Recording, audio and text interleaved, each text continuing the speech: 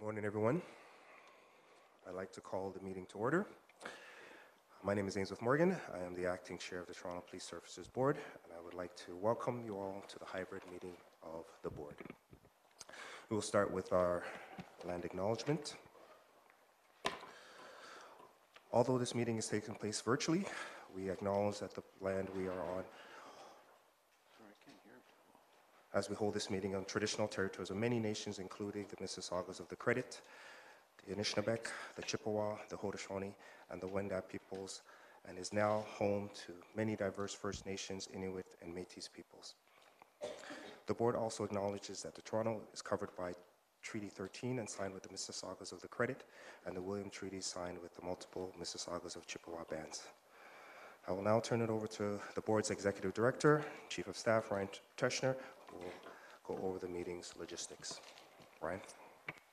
Thank you, Mr. Morgan, and thank you to everyone who's joined us in person, as well as those who have called into this meeting.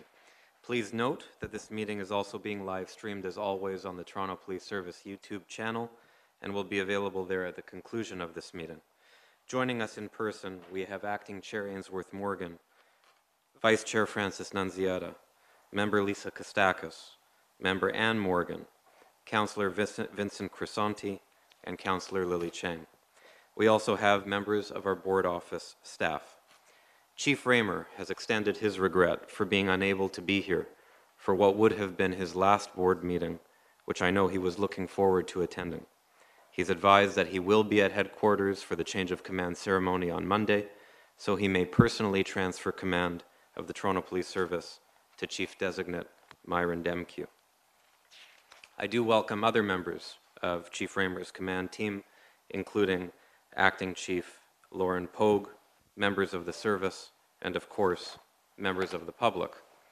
We have individuals who have registered to make deputations both in person as well as virtually on, our, on some of our agenda items. As per our regular meeting process, deputations will be heard prior to the item being discussed and voted on by board members. When it comes time to do a deputation, those who have registered will be called upon or brought into the meeting by our colleague Du Buchanan Gisser. As always, deputants will speak, followed by an opportunity for board members to ask them questions. And before we go further today, Chair, given that it's a new term of council and we have some new board members who have joined us, I'd like to move ahead with the swearing in of our new board members.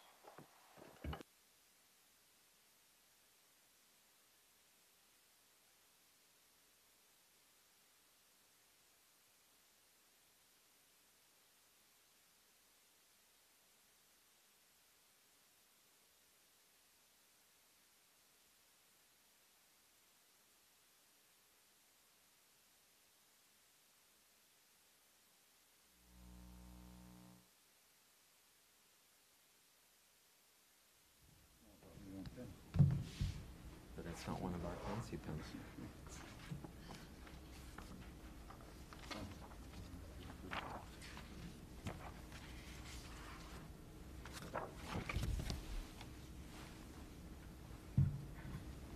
We'll begin with Councillor Nunziata. Do you want to take the Bible? Yes. And if you'll repeat after me.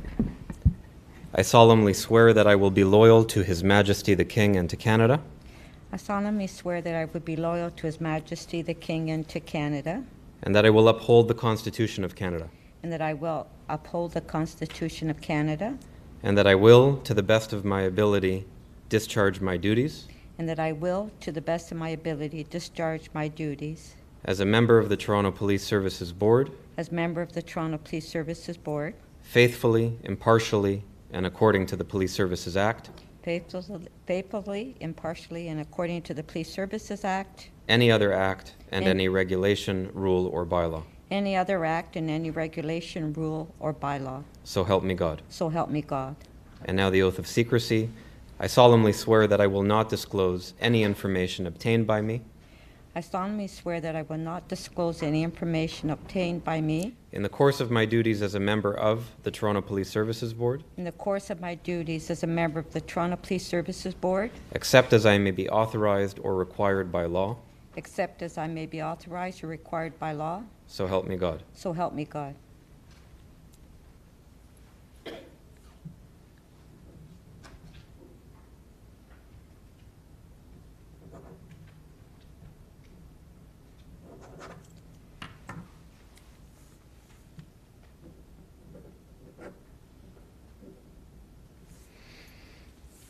Congrats. Thank you. Oh, did I keep the pen?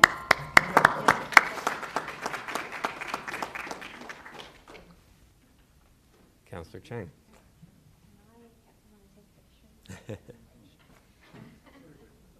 You okay?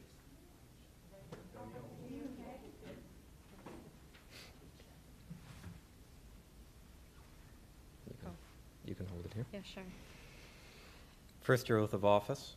I solemnly swear that I will be loyal to His Majesty the King and to Canada, I solemnly swear that I will be loyal to His Majesty the King and to Canada, and that I will uphold the Constitution of Canada, and that I will uphold the Constitution of Canada, and that I will, to the best of my ability, discharge my duties. And that I will, to the best of my ability, discharge my duties. As a member of the Toronto Police Services Board, as a member of the Toronto Police Services Board, faithfully, impartially, and according to the Police Services Act, faithfully, impartially, and according to the Police Services Act, any other act and any regulation, rule, or bylaw, any other act and any regulation, rule, or bylaw. so help me God. So help me God. And now the oath of secrecy. I solemnly swear that I will not disclose any information obtained by me I solemnly swear that I will not disclose any information obtained by me in the course of my duties as a member of the Toronto Police Services Board, in the course of my duties as a member of the Toronto Police Services Board, except as I may be authorized or required by law, except as I may be authorized or required by law. so help me God. So help me God.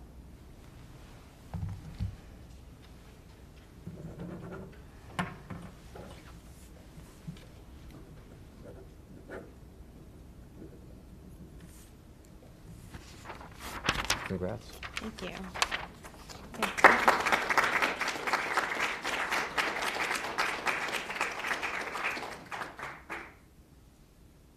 Thank you. Souvenir. Oh, can I get the pen packet? She didn't hear me. Oh, she's not. Yeah, Danielle. No, I'm getting a new one, that's fine. Hmm, Okay, that's good. we'll fix that. Councillor Crisanti, the oath of office. I solemnly swear that I will be loyal to His Majesty the King and to Canada, I solemnly swear that I will be loyal to His Majesty the King and to Canada, and that I will uphold the Constitution of Canada, and that I will uphold the Constitution of Canada, and that I will, to the best of my ability, discharge my duties. And that I will, to the best of my ability, discharge my duties. As a member of the Toronto Police Services Board, as a member of the Toronto Police Services Board, faithfully, impartially, and according to the Police Services Act, faithfully, impartially, and according to the Police Services Act, any other act, and any regulation, rule, or bylaw. any other act or any regulation, rule, or bylaw. So help me God. So help me God. And now the oath of secrecy. I solemnly swear that I will not disclose any information obtained by me I solemnly swear that I will not disclose any information obtained by me in the course of my duties as a member of the Toronto Police Services Board, in the course of my duties as a member of the Toronto Police Services Board, except as I may be authorized or required by law. except as I may be authorized or required by law. So help me God. So help me God.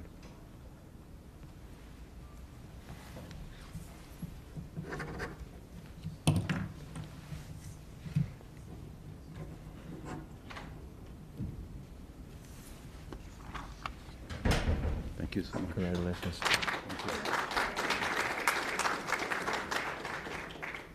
One more? Oh, Okay. sorry. You want to hold Here, I'll hold that. Okay. Thank you. Thank you, thank you so much. I get to keep this. Souvenir. All right, thanks so much. Thank you.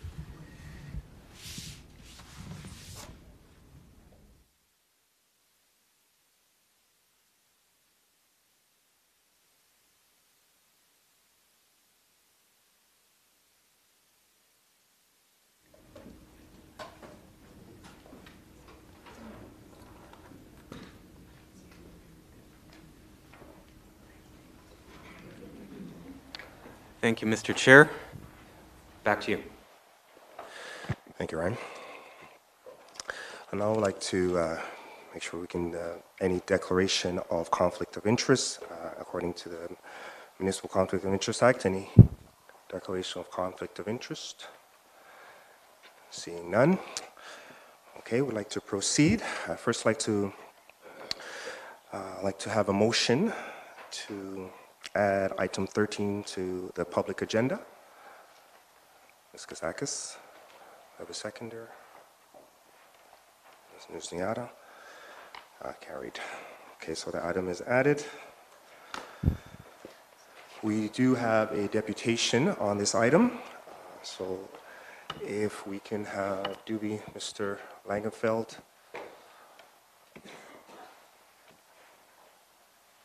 Is he? Good morning, can you hear me? Uh, yes, we can.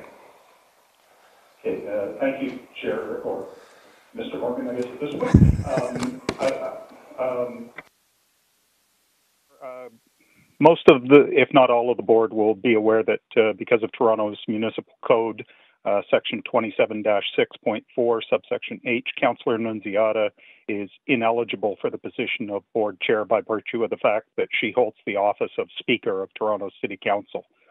Um, Toronto Municipal Code, Charter, uh, Chapter 27, Municipal Procedures, uh, Section 27-6.4 reads Council Chair, subsection H, Speaker not to chair standing committee certain agencies.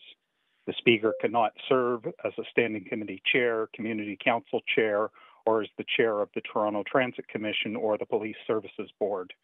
And meanwhile, uh, TPS procedural bylaw, section 7.2 begins by stating 7.2 the position of if the position of chair becomes vacant, the vice chair, if willing, will act in his or her place and assume the position of chair for the remainder of the term until an election is held at the first meeting in the calendar year.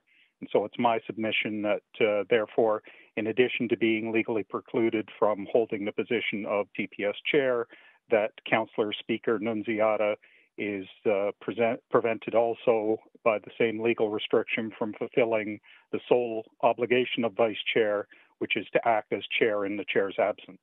And therefore, that, that would preclude her from being appointed as vice chair. Uh, I expect that this would probably have been raised by others here today if I'd forgotten reading this, but uh, if I didn't mention it now, the reality is that the board's rules would uh, prevent me from raising it later if it, if it uh, wasn't brought up for others by others. So I apologize for uh, making comments that are likely a waste of time here. Um, I certainly support the board acting in the same vein as it did in November to appoint Ainsworth Morgan here today as interim chair for the remaining two weeks of 2022. I note the Police Services Act requirement that another election to name a chair and vice chair for the 2023 year must be conducted at the first meeting of each year. Um, that um, I also raised that given both that councillors Chung and Christianti, uh, sorry, Crisanti are uh, brand new to the board, uh, I would suggest that it would be inappropriate for either of them to act as chair, and therefore the logical choices are either Ms. Morgan or Ms. Kostakis, both of whom seem equally competent and able to fill the role. And the determining factor will likely be uh, a particular interest or aversion to actually doing so. Um, but this brings up a uh, an associated issue here, which is um, relates to uh, communications with the board and its members. And this came up in dealing with this matter earlier. Um, the board members will be aware that the board has its main board at tpsb.ca email address, uh, and this creates a uh, uh, some challenge surrounding the most, most fundamental issue: what or who is the police board? Section 27 of the Police Services Act is crystal clear on this. 27.1 or subsection 1 there shall be a police services board for every municipality that maintains a police force and in the case of Toronto of Toronto subsection 9 provides that seven member boards in certain circumstances. Section 27 sub 9 where the lieutenant governor and council has approved the board shall consist of a the head of municipal council or another member of council appointed by resolution of the council b two members of council appointed by resolution c one person appointed by resolution of council who is neither a member of the council nor an employee of the municipality and D, three persons appointed by the, the lieutenant governor in council. And what this definitely makes abundantly clear is the reality that the board is not, like the corporation of the city of Toronto, some corporate entity that persists indefinitely of its own accord with random folks assigned to manage it. Rather, the Police Services Board specifically prescribed, or the Police Services Act specifically prescribes that the board consists of, in Toronto's case, seven appointed members, soon to be nine members when that 2019 law takes effect. You're naturally able to hire staff, janitors, typists, receptionists, up to analysts, administrators, and executive directors to have them take care of the mundane tasks on your behalf. But those people are not the board. They are rather people that work for the board, just as the chief and the officers in the service are. So emails to the board are in fact emails to the seven members. Yes. Thank you for the time. Um, yeah, I, I, w- I would just suggest that the members should all have email addresses was my, the long version or the short version. Thank you. Thank Chair. you. Uh, We'll take that into consideration. Thank you. Any questions? Any questions of the deputy? Nope. Seeing none. Thank you. Mr. Uh, th- Thank you, Mr. Morgan. Uh, Just before I begin, um, I I can't help but notice that Mr. Langenfeld used the word mundane to describe the work uh, that our team does, so I'm going to have to just respectfully disagree. At its meeting on November 14, 2022, the board recognized then Vice Chair Councillor Frances Nunziata as chair, following former Chair Jim Hart's retiring as a member and as chair of the board. Subsequent to that board meeting, City Council elected Councillor Nunziata as Speaker of Council on November 23, 2022. As City of Toronto Municipal Code, Chapter 27, titled Council Procedures, states that the Speaker cannot serve as Chair of the Police Services Board. Vice Chair Member Ainsworth Morgan has been acting in the position of Chair in accordance with Section 7 of the Board's procedural bylaw. Given these unique circumstances, however, Mr. Morgan has advised that he will step down from the role of chair, and Ms. Uh, Councillor Nunziata has advised that she will step down uh, from the role as vice chair so that the board today can formally elect an interim chair and a vice chair to serve in those roles until an election is held at the board's first meeting in 2023. These elections will be held in accordance with the procedures set out in Section 5 of the procedural bylaw. And so now I'd like to turn it over to the board administrator, Ms. Akim, to conduct the election. Thank you so much. Good morning, everyone. In accordance with the board's procedural bylaw, we will now hold an election for the position of chair and vice chair. Nominations for the position of chair will now be accepted. May I have a nomination? Councillor Nunziata, Yes, I would like to nominate Ainsworth Morgan thank As you. chair. as acting chair. Thank you. Councillor Frances Nunziata nominates uh, Board Member Ainsworth Morgan. May I have a seconder? I'll second. Thank you very much, Ms. Kostakis. Are there any further nominations? No. Hearing none, nominations for the position of chair are now closed. Councillor Nunziata nominated Mr. Morgan, uh, which was seconded by Board Member Lisa Kostakis. Mr. Morgan, do you accept the nomination? Yes, I do. Thank you. All in favor? Thank you. Any opposed? Thank you.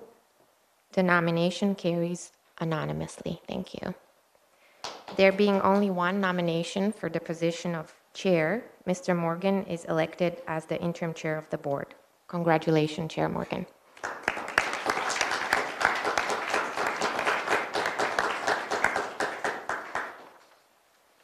And now I would like the board to um, hold an election for the position of vice chair. Nominations for the position of vice chair will now be accepted. May I have a nomination, please?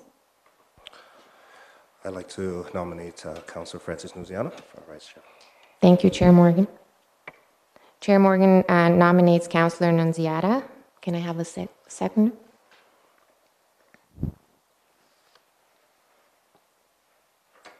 Thank you, Ms. Morgan.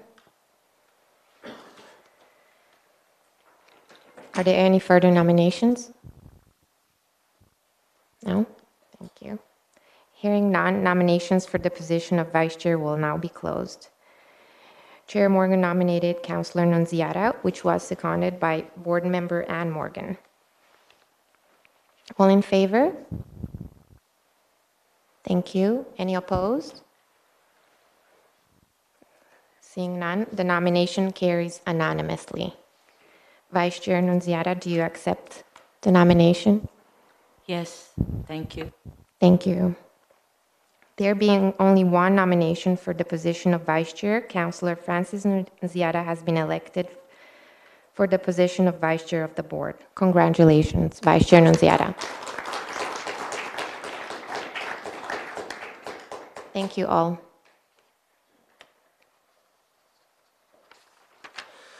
Thank you, Ms. Howe. So I've been advised that uh, we have a motion that we need to put before the board to ratify decisions that were made before November 18 and today. Motion up there, Duke.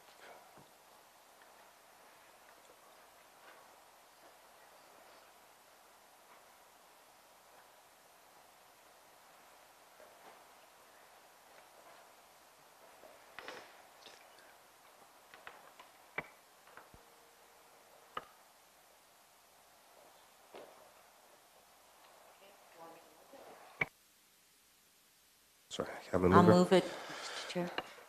Seconder, Ms. Moore, Ms. Kostakis, okay. Any opposed? Okay. Passed. All in favor? Thank you. Carried.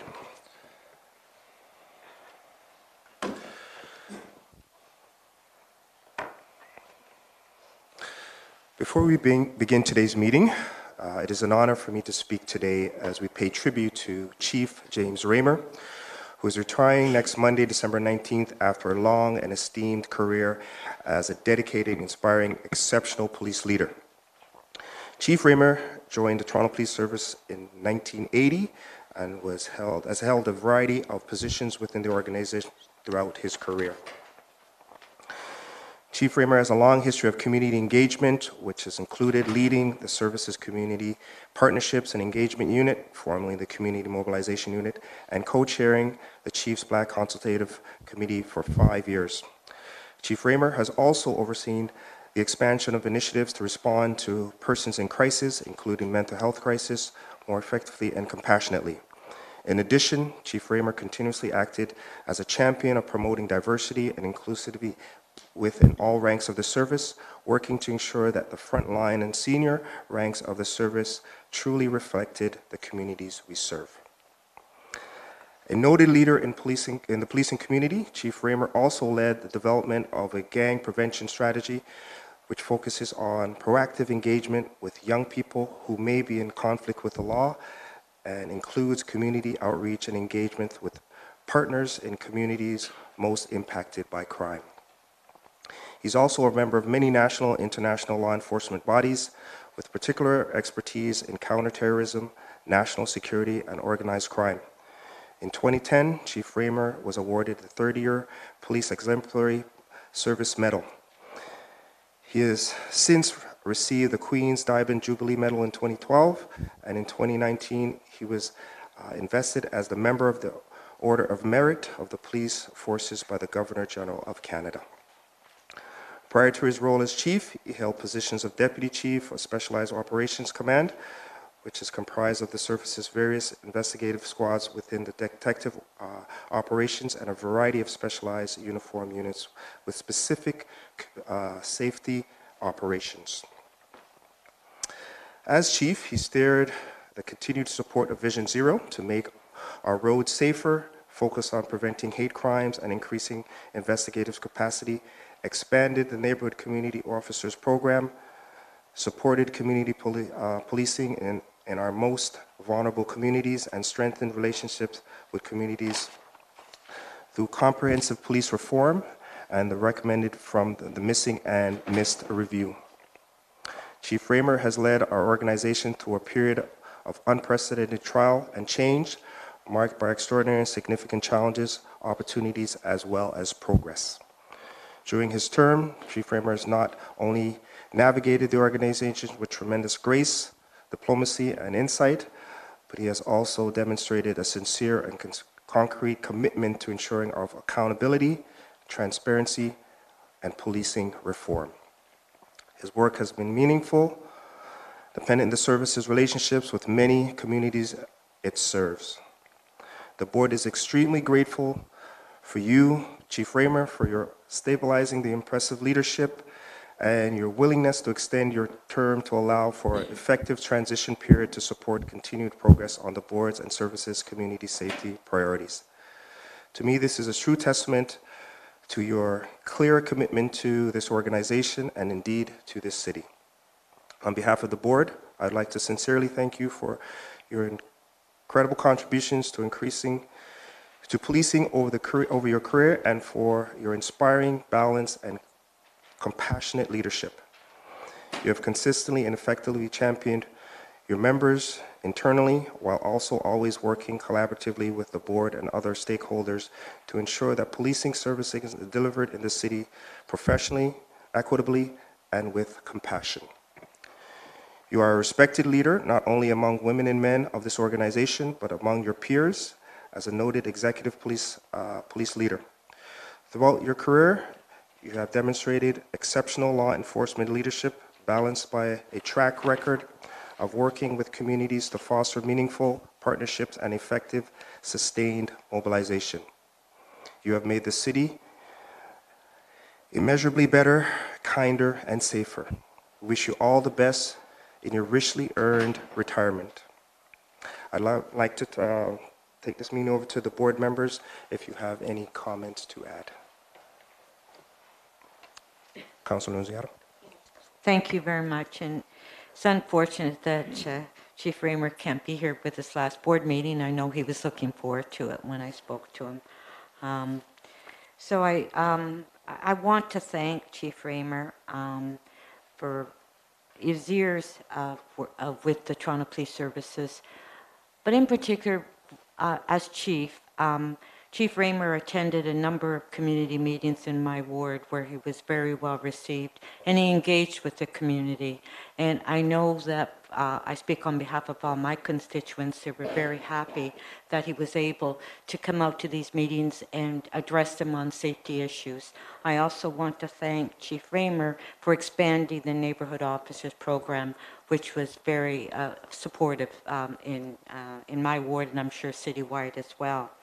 Um, the uh, one of the meetings that the chief did attend a few years ago um, in the Falstaff community, where residents were complaining about the number of gun violence, and at that meeting, he pointed out to the uh, community that he would promise to get security cameras on Falstaff, um, which everyone was very excited about because I think would make a big difference, and we're looking forward to it.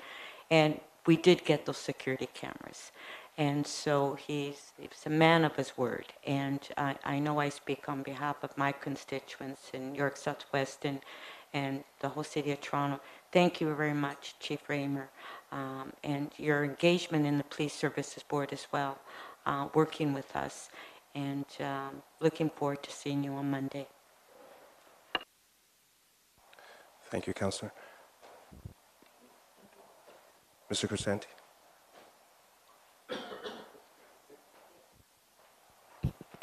Uh, Thank you, Mr. Chair. And um, so I'm I'm a new member here, but uh, I know Chief Ramer, and, and um, uh, you know, I I also want to take the opportunity to thank him not only for his service, but to thank him for the, for the great work that he's done within the service and within um, uh, the City of Toronto, all communities. Uh, He leaves a legacy of of respect. People respect him. He's, um, uh, and people respect him on the ground. There- There's people I come across in, in my old community all the time that tell me that the, the chief has done a, a great job of strengthening relationships in, in these communities. Uh, the, uh, you know, just the mere fact that he's grown the, uh, the, um, uh, the community officer program uh, is in itself, you know, a great thing. And I know that he's, he's committed to seeing that program continue to grow and to continue to build relationships. Uh, he's going to be missed. I wish him all the best uh, on behalf of my community on, uh, and also on behalf of my family. Uh, and I wish him well in uh, the next stage of his life. And I look forward to seeing him on Monday as well. Thank you. Thank you, Councillor Crisanti. Member Ann Morgan? I- It's hard to summarize um, everything I want to say about Jim uh, in a couple of minutes, but um, I met Jim in 1995. He was the officer in charge on a murder investigation, and it became apparently apparent to me very early on that um, he had some of the best qualities that I admire in both a police officer but also in a human being, which included his loyalty, his impeccable um, duty to the public, and his judgment. And um, we'd often sit down, uh, you know, when we were brainstorming problems that arose um, over the years as I got to know him both in a management role and as a prosecutor role, and always boiled down to doing the right thing, which is not always easy to do when you have bosses that you report up to and people that you try to please below you. He was always a, a tower of strength and integrity, and he always um, made me proud to do what I do because I tried to emulate him and his sort of values of seeking um, community safety, but even more importantly, access to justice for especially disadvantaged uh, individuals in our city.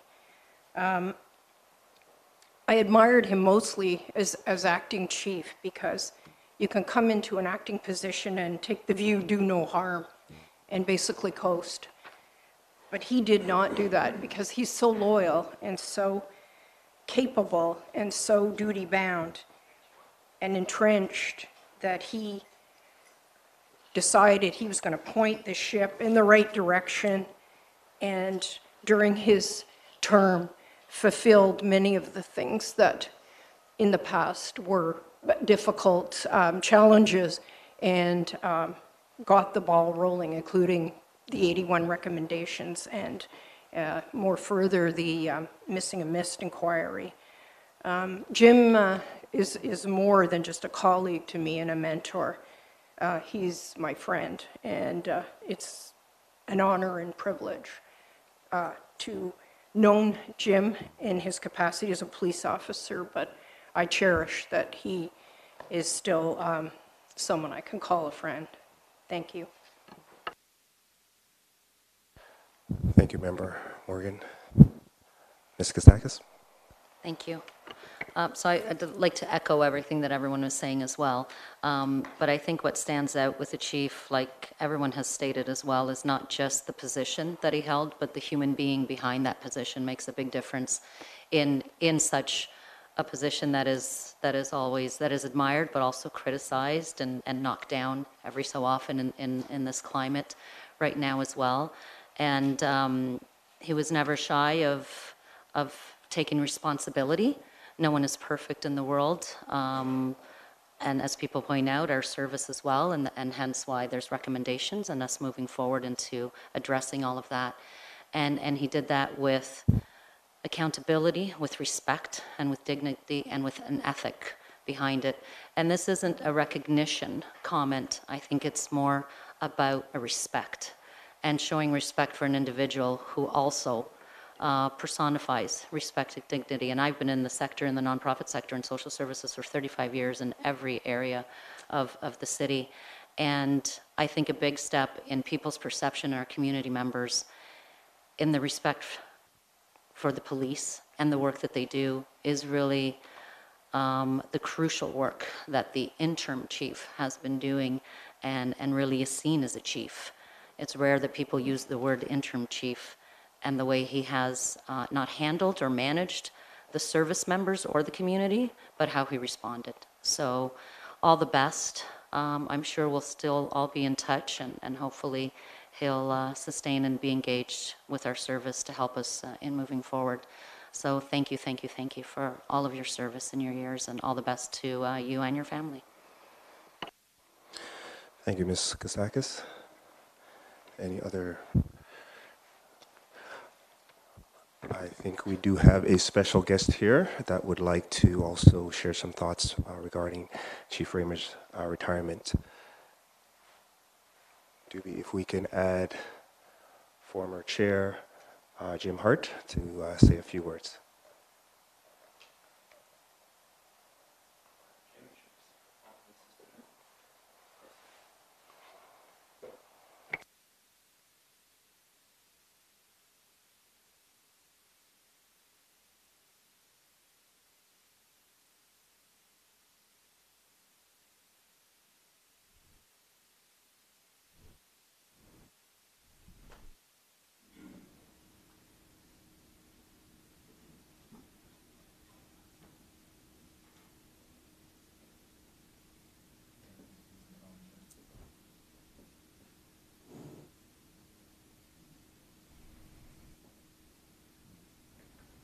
Bear with us one second.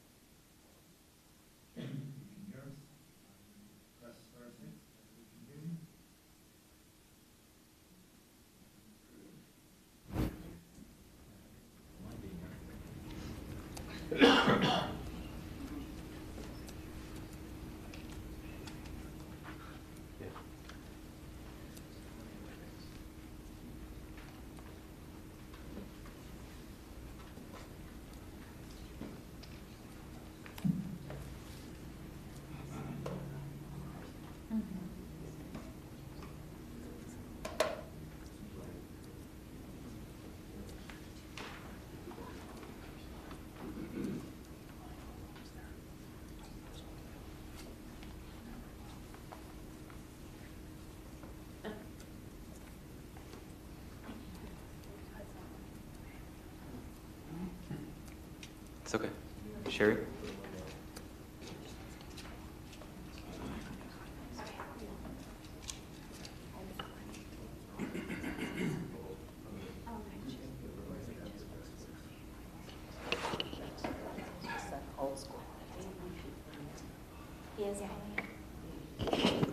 Apologies, everybody. We'll, we'll have this cleared up in a second. to put you on my speakerphone, okay?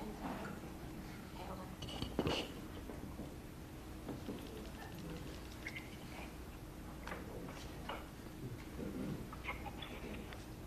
Mr. Hart, are you there? Can you hear me? Yes, we can. Go ahead. We're just uh, a little old school right now, but uh, we can definitely hear you. Uh, sorry, some technical issues from uh, downtown Brighton here. Am I good to go, Chair Morgan? Go ahead. Yes, clear. Okay, I want to thank Chair Morgan and the board for giving me the opportunity to say a few words at this last board meeting before Chief Ramer's retirement from the Toronto Police Service. Chief Ramer, a few months ago, September 2022, the CBC wrote an article entitled What's Behind the Recruitment Process for the New Police Chief. They wanted to know why the hiring process was taking two years. My simple answer was we put it, we would have put it out much sooner if Chief Ramer didn't do such a fantastic job, quite frankly. I could have said much more because you are truly a great leader. You led the Toronto Police Service through a challenging period in policing, and you did it exceptionally well because you know how to speak truth to power and you inspire those around you to be the best that they can be. Great leaders are measured in many ways, but one important way is who they surround themselves with in the workplace. Chief, you surround yourself with a top-notch command, and your chief's office itself as individuals who are not only excellent in what they do, but who are terrific people as well. You are leaving this organization stronger and in very capable hands. I know that being the chief of police of the Toronto Police Service was the crowning achievement of your career. But having gotten to know you quite well over the last couple of years, I know that the crowning achievement of your life is being a proud grandpa, a father, a husband, and a son. It was an honor to meet your father at the Chiefs Gala a month ago. When I asked him, what does it feel like to be the father of the best police chief the city has ever had? The look on his face said it all. You have one very proud dad, Chief. Chief, when command changes on Monday, your over four-decade career comes to a close and you start your next journey. Know that you have made a deep and lasting impact on not only policing in Toronto, but in Ontario and in Canada. They'll be felt for generations to come. I look forward to seeing you on Monday, Chief. Thank you, everyone. I hope you heard that. We did. Thank you, former chair.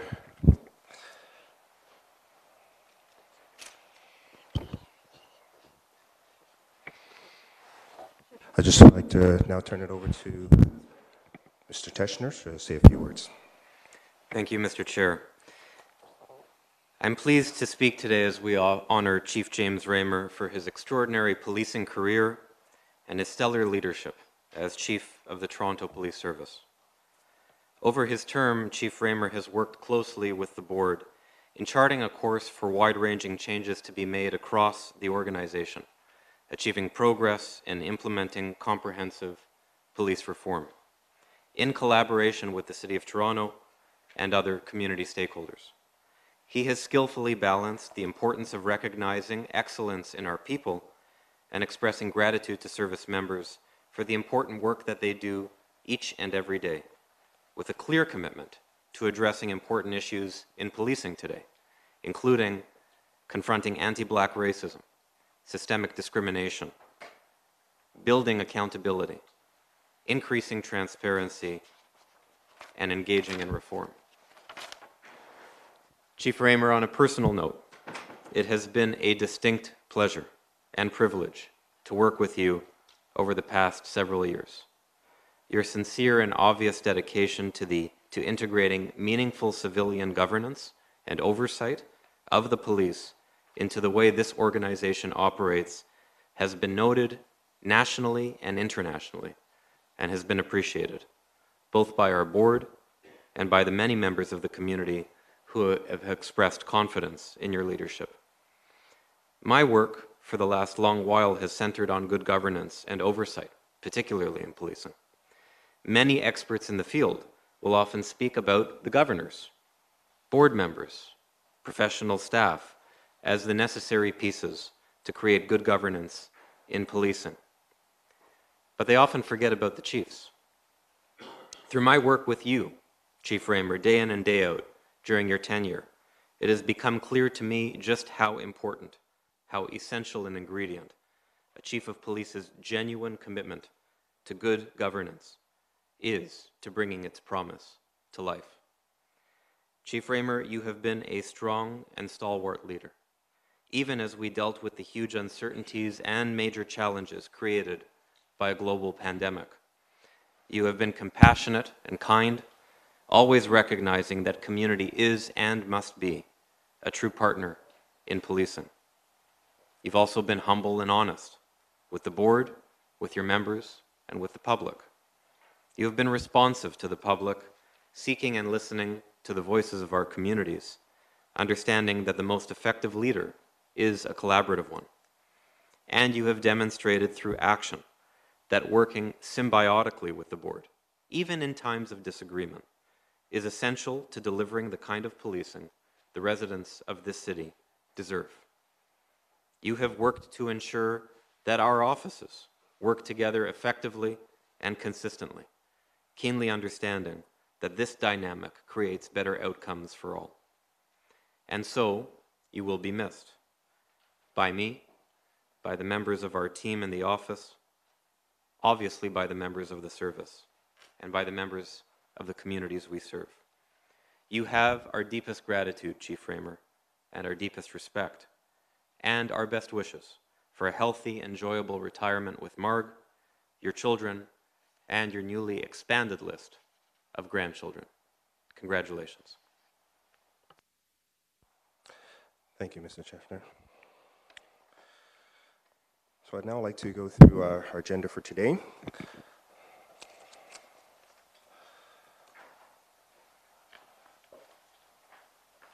So item number one, the confirmation of our minutes or November 14th minutes. That's been held. Item number two is also, that's held. Item number three, that's also held. Item four, held.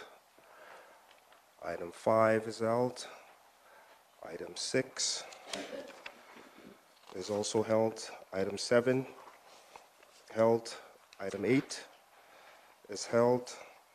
Uh, Item nine, I'd like to call for a, a vote for item number nine, a vote to approve. Councilor Nunziata.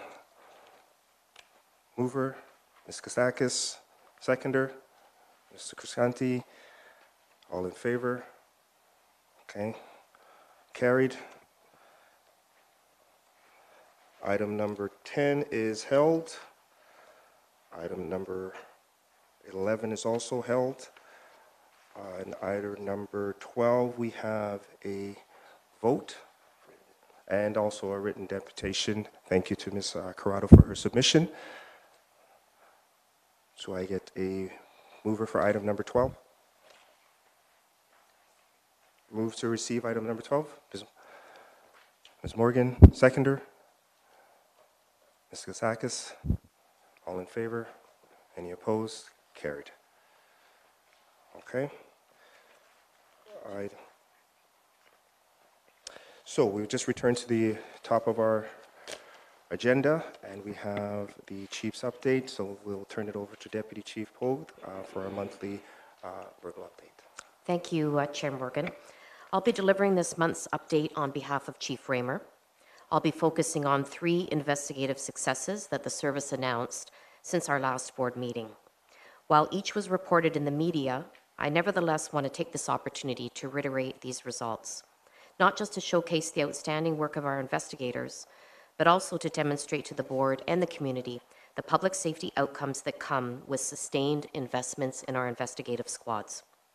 The first is a drug squad investigation done by our major drug squad, the results of which were shared publicly back on November 17th. This months long investigation resulted in the largest single day seizure of illicit street drugs in the history of our police service. It included the seizure of 520 kilograms of crystal methamphetamine and 150 kilograms of cocaine. It's important for the board and the public to appreciate that a single kilogram of either one of these drugs sells for tens of thousands of dollars in its purest form. When cut into smaller quantities, laced with additives to extend their yield, and sold at street level, this quantity of drugs would generate millions of dollars in profits for organized criminals and several thousands of dollars for street level dealers who prey on our most vulnerable. This remarkable investigative result by members of our drug squad has not only diverted millions of dollars in profits from organized crime and street gangs, but it has diverted massive amounts of dangerous and illicit drugs from reaching our streets. The second investigation, Project Barbell, uh, was originally reported by Chief Ramer on December 5th. This investigation was carried out by our integrated gun and gang task force, and it, target, it targeted organized criminals who were profiting from the illegal sale of guns. The investigation culminated in the seizure of a distributing arsenal of 62 firearms and large quantities of ammunition. As many of you have seen during Chief's, uh, sorry, our Chief's news conference, some of these guns were assault-style rifles. It is chilling to consider that each and every one of these guns, we allege, was destined for our streets and our neighborhoods. Virtually all of the guns were sourced to the United States, smuggled across the border, where they were sold on our streets for huge profits. That anyone would choose to profit from selling drugs that are intended to do nothing less than kill and maim is frankly unconscionable.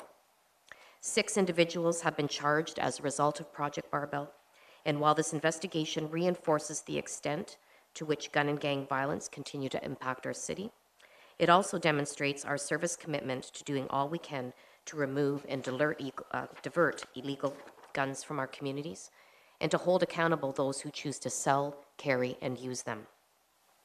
The final investigation I'd like to speak about is a cold case homicide, and it highlights the successful conclusion of the 1983 murders of Erin Gilmour and Susan Tice.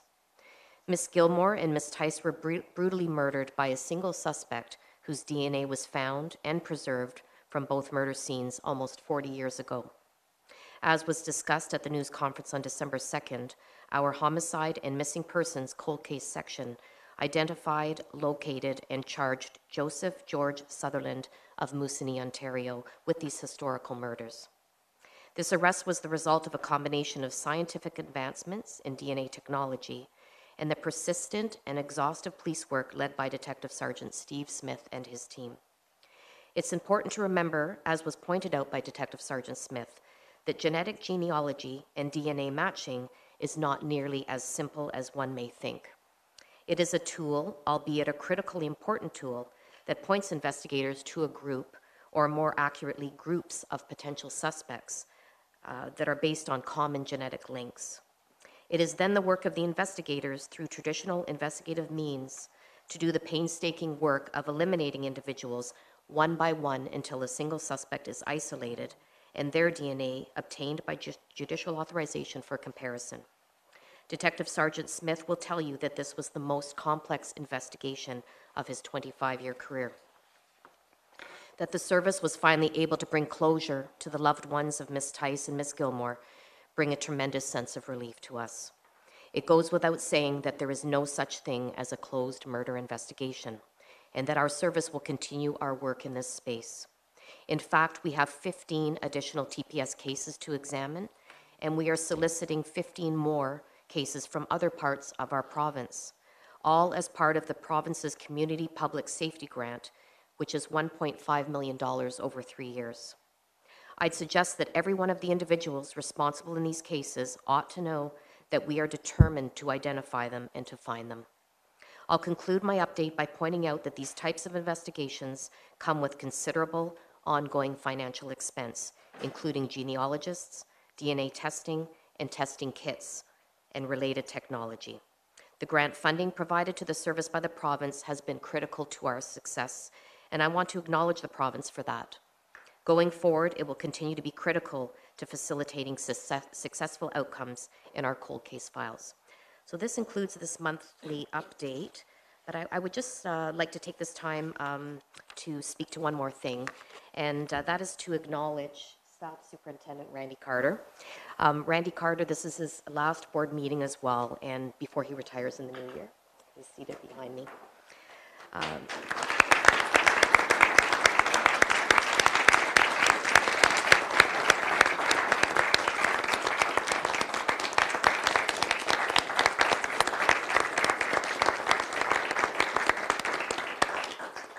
I'd just like to, um, to point out that Randy has almost 37 years of experience working with uh, all pillars of our organization. He has demonstrated a true commitment to continuous learning and safer communities. He is a mentor and he's deeply devoted to developing our future leaders. Randy has led and contributed to critical work with many of our partners, some of which include the city's Community Safety and Wellbeing Plan, the board's Mental Health and Addiction Advisory Panel, alternative mental health responses with the Toronto uh, Community Crisis Service and Gerstein.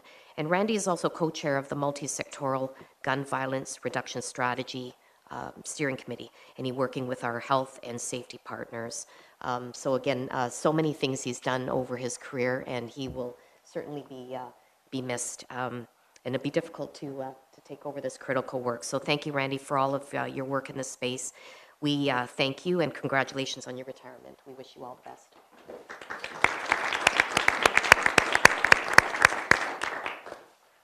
And that's it. Thank you, Chair. Thank you very much for that. And before I turn it open to um, to the board, I just want to uh, say on behalf of the board, just to uh, Mr. Carter, uh, just thank you very much for your years of dedication. Uh, on a personal note, uh, working with you on the Safety file Uh, I got to see firsthand your commitment to community safety. Uh, so I just want to uh, say thank you again from the board and from myself on a personal level. So all the best.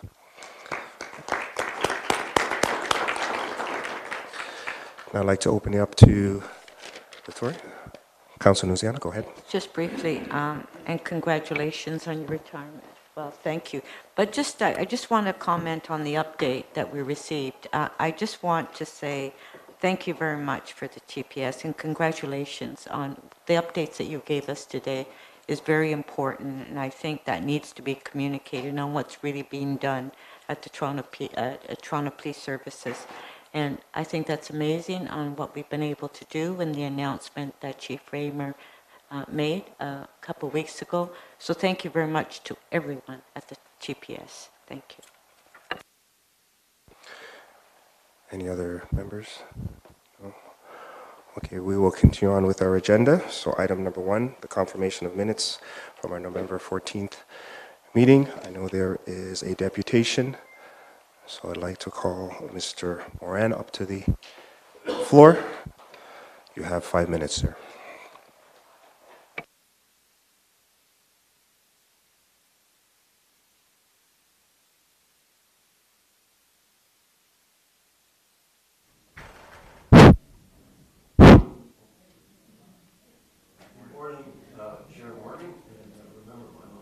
Yark. I just want to say by me speaking at this meeting, this shall not be deemed to be in any way my consent expressed or implied in doing so as fraud. God bless His Majesty the King and long live His Majesty the King. If I've ever led this board to believe in any way that I am a person as mentioned in the definition for deputation in this board's bylaw definition section, then that would be a mistake, and then I ask this board to please forgive me. And in recognition of this being her first uh, police board meeting, I was going to point out for um, Councillor Cheng, but she seems to have left the meeting already um, because of something she said at City Council yesterday. This is from the re- reference regarding the secession of Quebec, 1998, where the Supreme Court of Canada said that democracy is commonly understood as being a political system of majority rule. Notice what that doesn't say? Minority rule. It says majority rule. So notice a mistake, as I believe the board administrator, Diana, has made a mistake in not mentioning in the minutes, as Mark Grimes' name had been deleted in this board's agenda last month, that former Toronto candidate for mayor Chris Langenfeld explained once again how the Toronto Police Services Board held an illegal meeting as Section 27.11 of the Police Services Act says. If the position of a member who is appointed by a municipal council or holds office by virtue of being the head of a municipal council becomes vacant, the board shall notify the council, which shall forthwith appoint a replacement. Now, Jim Hart leaving didn't exactly sneak up on anyone at the City of Toronto, right? So this is from R versus Woods, 2005, where the Supreme Court of Canada said, forthwith means immediately or without delay. That's from the Canadian Oxford Dictionary. It is for these reasons that we are prohibited on constitutional grounds from expanding the meaning of forthwith in section 20, 254.2 to cover the delays that occurred in this case. Um, Toronto Co- Coalition to Stop the War versus Canada Public Safety and Emergency Preparedness 2010, the federal court said there is no dispute between the parties that the right to freedom of expression under Section 2B of the Charter also protects the listener in that it includes the right to hear and the right to receive information. I say this because I believe, again, Diana made another mistake by not recording in the minutes the moment former board member Mayor John Tory interrupted Chris Langenfeld in the midst of explaining why he felt Chair Jim Hart's legacy would be that of a fascist toady. As a result of Mayor Tory's interrupting Chris, I was not able to hear what Chris's rationale was for calling Jim Hart a fascist toady. As such, Tory violated my freedom of expression, and in particular, my right to hear due to his outburst. This is from Bracken versus Fort Erie, 2017, where the Court of Appeal for Ontario said, No doubt they did not like being called liars and communists, but democracy depends upon the free and open debate of public issues and the freedom to criticize the rich, the powerful, and those who exercise power and authority in our society. Debate on matters of public interest will often be heated and criticism will often carry a sting, and yet open discussion is the lifeblood of our democracy. And you know what? This will be a surprise to all of you. That doesn't just go for us, the public, that also goes for Premier Ford, because people don't realize when he was gearing up to run against Tory last term, before he became Premier, he showed up at a town hall for then Councillor Giorgio Mammoliti. Someone shouted out something to uh, Premier Ford while he was speaking. It kind of stunned him for a bit. He collected his thoughts, and I took a screenshot of what he said. Premier Ford said, You know something? John Tory is a liar. Very simple. So, um, you know, goes for, what goes for the uh, public goes, it seems, goes for Premier Ford also. So that's all I had to say. Thank you, Mr. Moran. Any questions to the deputant?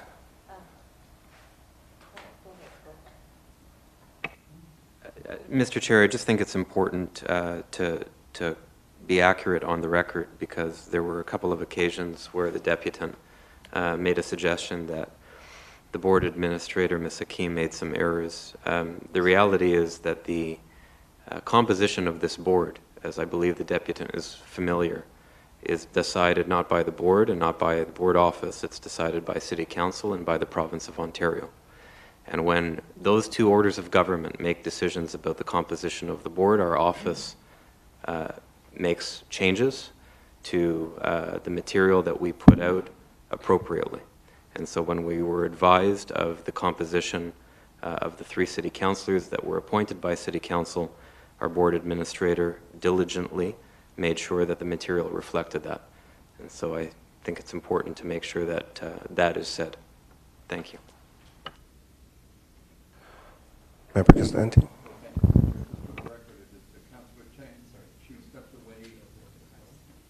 Do that? All right, the power's on, but not the mic. No, thank you, Mr. Chair. Just for the record, I just wanted to state that Councillor Cheng uh, just stepped away briefly. She will be back. Um, just, in, you know, just want to clarify that in case somebody thinks that she did leave, but she did not leave. She will be back. Okay, Thank you for that thank clarification. Thank you.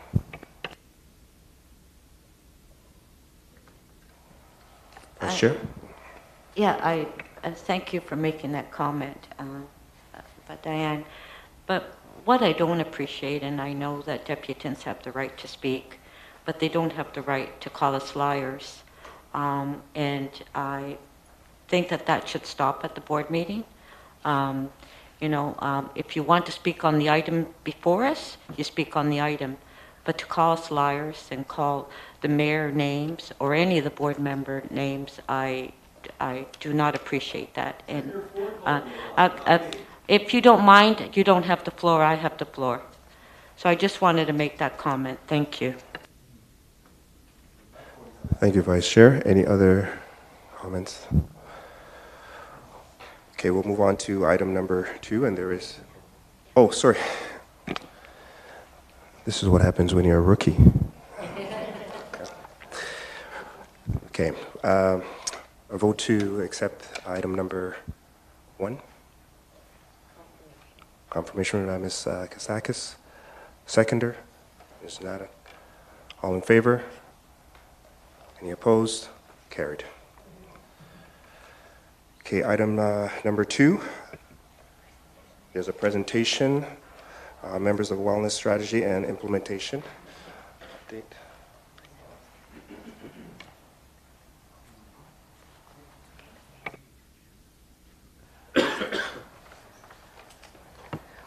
I just wanted to, while uh, the team is setting up, just take a couple minutes and sort of open um, this item. So uh, one of the things that I just wanted to highlight is that some of this work really started um, maybe back in 2018. That's when really the unit kind of was formed as it is um, now. Uh, Ivy was actually brought on in late 2018. Um, and by you know 2019, 2020 is when the strategy actually came together on um, you know on what the intent ultimately was. And so what we're really here to talk about and why we're doing a, a wellness and well-being strategy. Um, there's kind of four or five big things. One of it, one of them is around illness and injury prevention, which in our um, sector is incredibly important given all the dangerous work our members do. The other piece of it is when, unfortunately, things do happen, that we're able to seamlessly support our members and that they have access to all of the supports that are available to them as seamlessly and as kind of pain-free as possible. Uh, the third thing around why this is so important is really to normalize the idea of mental health and reduce the stigma so that, you know, we, we do provide incredibly um, kind of sector leading benefits, but we also want to make sure that not only are they accessible, but people feel it's okay to access them, that it's perfectly normal and okay to do so. Um, the other area is around um, our processes themselves. And so, what are we obligated to do as an employer? What are our leaders obligated to do? And what does modeling good behavior look like around supporting wellness? Um, and the last two is really around where we aspire to be. We want to be an employer of choice. Um, wellness programs and well being is one of many ingredients of getting there, but it's a very important one. And in particular, when we think of the current landscape and we every every service is hiring and when they're contemplating what service to join for us this is a key differentiator among other aspects of what we offer as as a service and as an employer um, and so um, we, we've been on this journey and now fast forward a few years and we are starting to see some really tangible results um, we are increasing our reach and our participation in terms of the programs we offer, who calls us, the adoption of everything we're putting out. Um, and maybe less subtle and not always measurable is the conversations that happen in the hallway, the conversations that are happening in our interviews. We just finished a suite of senior officer interviews, and a running theme throughout all of them was how important wellness was and what have our leaders done to contribute to member well-being? Um, and we're also seeing kind of more visible supports, visible support from our leaders, as well as metrics that do support the idea that we are making inroads, we are seeing improvements, um, we are seeing a much better experience when it comes to return to work, um, that type of thing. So you know, I just wanted to kind of point out that this is sort of a, a, journey now that's been going on for a few years. Um, there is some much more heavy lifting to still do. We recognize there's more still to be done, but there is a really strong team um, that is very committed to the purpose, and we've certainly enjoyed the support of command um, as well as the board to keep carrying this work on. And so I just wanted to say, you know, thank you to the team and, and recognize kind of the heavy lifting that's gone on while Ivy walks us through some of the updates of, of how this strategy is going. Thank you.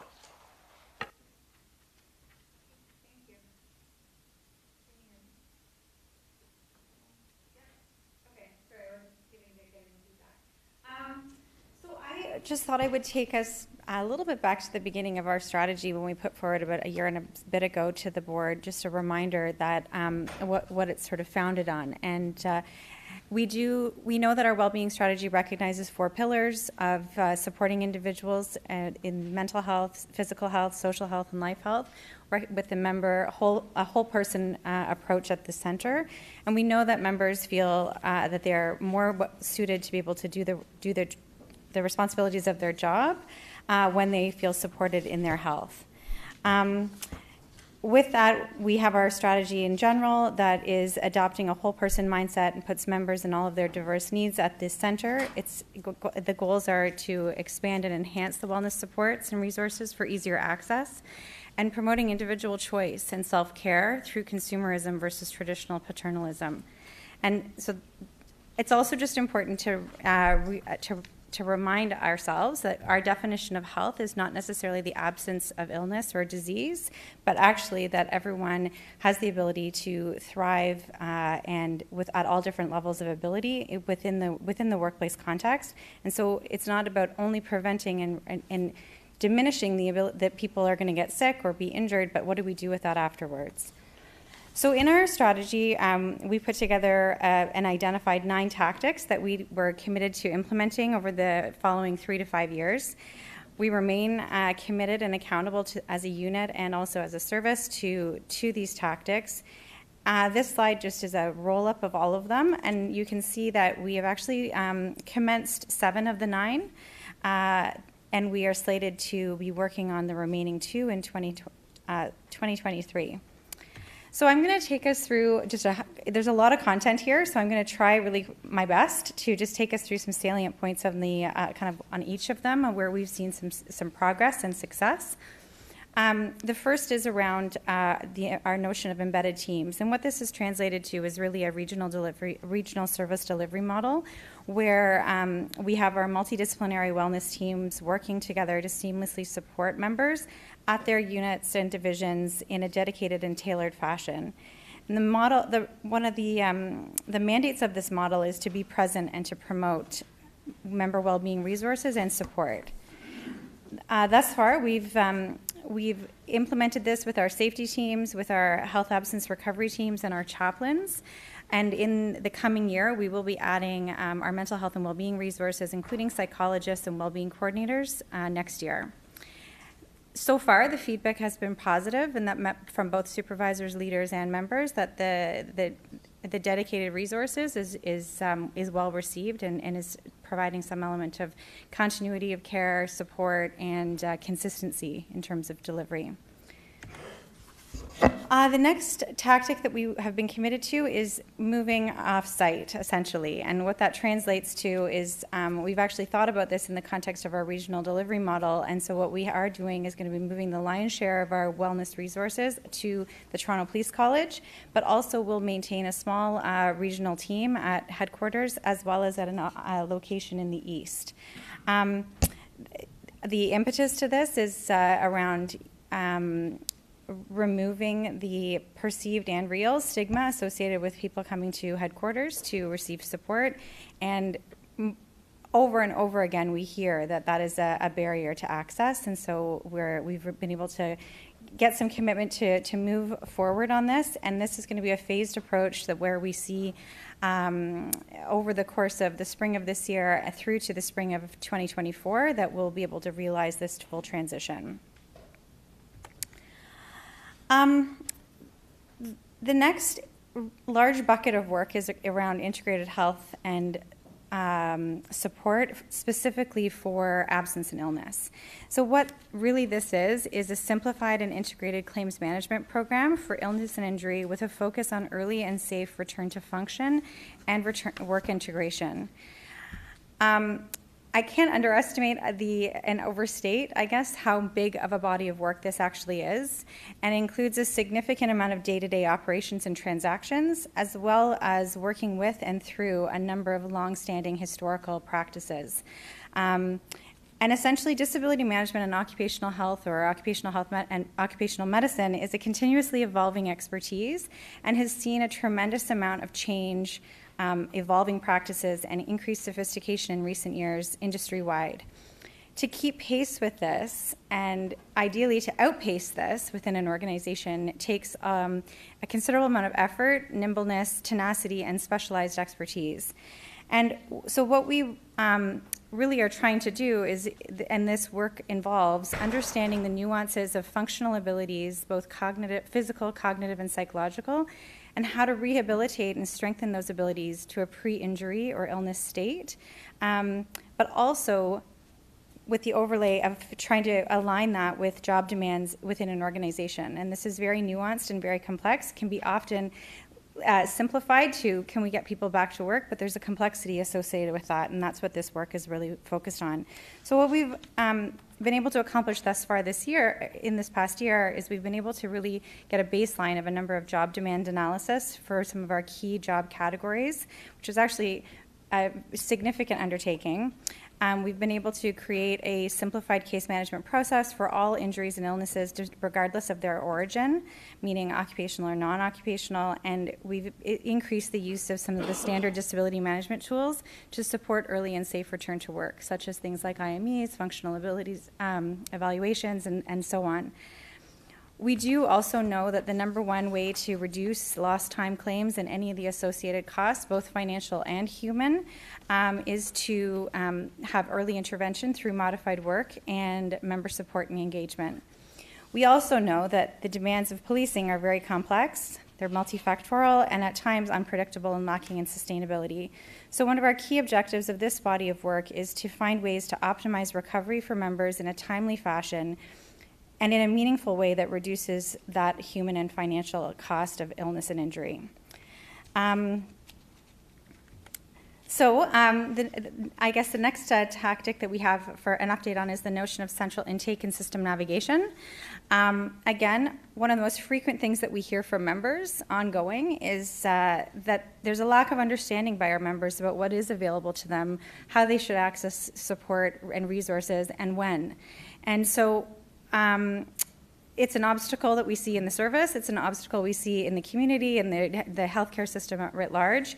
Um, but one of our goals with this is to reduce the confusion and burden of trying to navigate access for our members when they're at a, in a position of needing support. So, with a central singular point of contact for support navigation, this is what we're uh, working towards we, it's important to note that we, we did in some ways pilot this um, in the pandemic. Uh, when we created our pandemic response um, and pandemic support line, which was essentially a 24 7 hotline that we created for members as a central point of contact for COVID related items the, uh, the, the business case or the kind of the return on investment for this we're actually really proud of. And essentially what this is is on the on the left hand side you can see that this is the cost of investing in this in, over the course of two years. You know the amount of lo- the cost of implementing the program um, combined with the estimated lost time had there been no intervention there was in and around $61 million however in the by spending upwards of $900000 to run this program um, the estimated cost and lost time we had with in regards to the pandemic was 35.57 million, which essentially is a savings of about 25.74 million dollars over the course of two years by front loading early access and early intervention essentially. So this is a really strong model. Again, some people would say this is a return on investment, it's a cost savings or a cost avoidance, and that's an important uh, it's important to kind of recognize that. But it is a really great business case and a proof of concept to move forward on a um, centralized intake for other types of absence and injury. And so this is a visual illustration of what this could look like uh, for the for the service and what we are working towards again, combined with that overlay of a regional uh, service delivery model. So you can see that, you know, any number, this is not exhaustive, but illustrative, like I said, that, um, you know, any kind of query that would come into the, for instance, to the wellness unit would be effectively triaged through the central intake team and then uh, piped out to one of the regional service delivery models in a multidisciplinary fashion. So um, that is something that we're actively working on. Um, health promotion has been uh, marquee in terms of some of the things that we've been uh, dedicating our time towards. Um, we've done a lot in this area this past year, and it's been really nice to be able to be focusing on things other than the pandemic uh, and infection prevention and control this year, but also keeping that very much alive throughout the throughout the course of the year. Um, a couple of key accomplishments here has been um, and sorry, when we speak about health promotion, one of the key things that we want to do is raise awareness and build skills amongst our membership as part of that health promotion. And so, um, one of the big things that we've been able to accomplish this year is a partnership with CIPSRT, which is the Canadian Institute of Public Safety Research and Treatment, as well as Wayfound Psychology and Wounded Warriors, where we've been able to have 2,000 of our members participating in the Before Operational Stress Program, which has been funded through a Canadian Public Health Grant. And so, for those of you who don't know, the, the Before Operational Stress Program is a proactive, resiliency based program that uses evidence based tools to mitigate the effects of operational stress, of which we know almost unilaterally all of our members will have experienced at some point in time. And it teaches members to manage the effects of that operational stress uh, by learning and using coping techniques.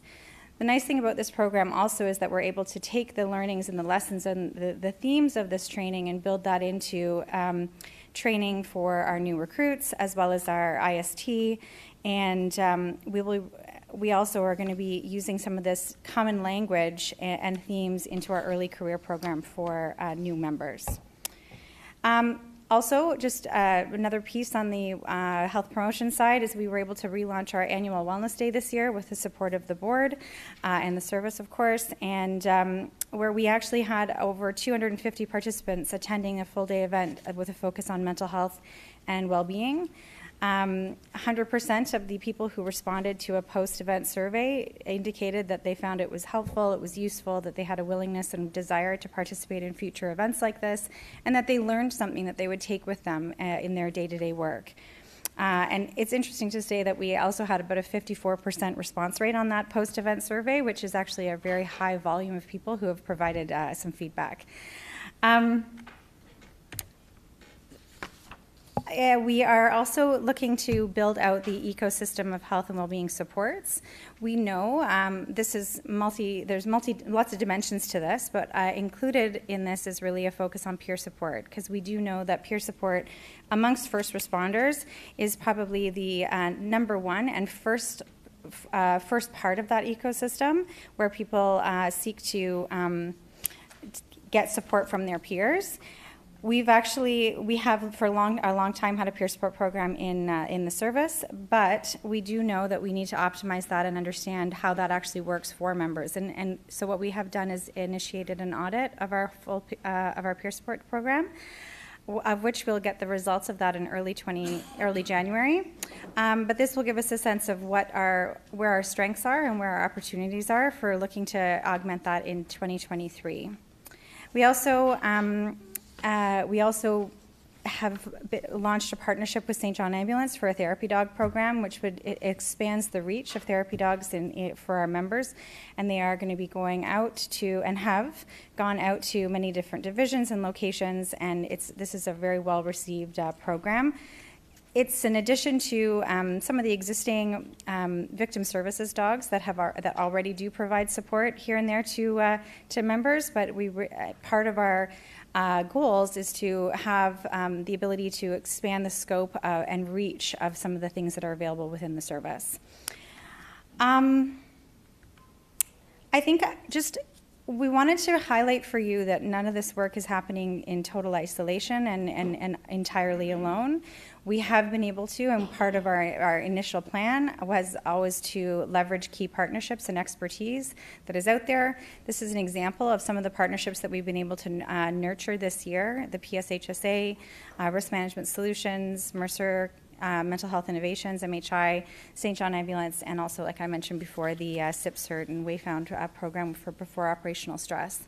Um, without the help of these organizations, we wouldn't be able to move things as further along as we have, and so uh, it's it's great to have that expertise at, at our tables. And then, kind of right not wanting to diminish this because it's actually such a huge component of the work that we're doing is um, you know really dedicating a lot of time and muscle and, and energy to data and metrics management um, we know that we need to be able to have a lot of things with wellness are about our performance but also about our uh, experience both um, quantitative and qualitatively we are doing a huge amount of work in our in our unit to be able to kind of mine our systems, optimize the systems that we have in order to be able to produce um, meaningful information to help guide our decision making down the down the line. And in the future, in this coming year, we hope to be able to be able to have a um, internal dashboard that has ready available statistics and information to show how we are performing, as well as to give us some indication as to where we, are seeing some results, where we can add more investment and in both in time and perhaps resources, and also to understand what the trends are moving forward and where we need to spend our um, wellness dollars, as it were. Um, and I'm going to invite Nancy to come up and talk a little bit about moving forward. So thank you for 2023. Um, we are committed to rigorously um, implementing and executing on uh, the member wellness uh, strategy. And so Ivy has very deeply walked us through the nine tactics, uh, the principles, and Savina has touched on the strategic priorities that we are going to lose, uh, use as our lens uh, to prioritize and assess the work um, of wellness. And um, those tactics obviously have been uh, developed over the last couple of years. Um, they're very foundational to the work that we need to do.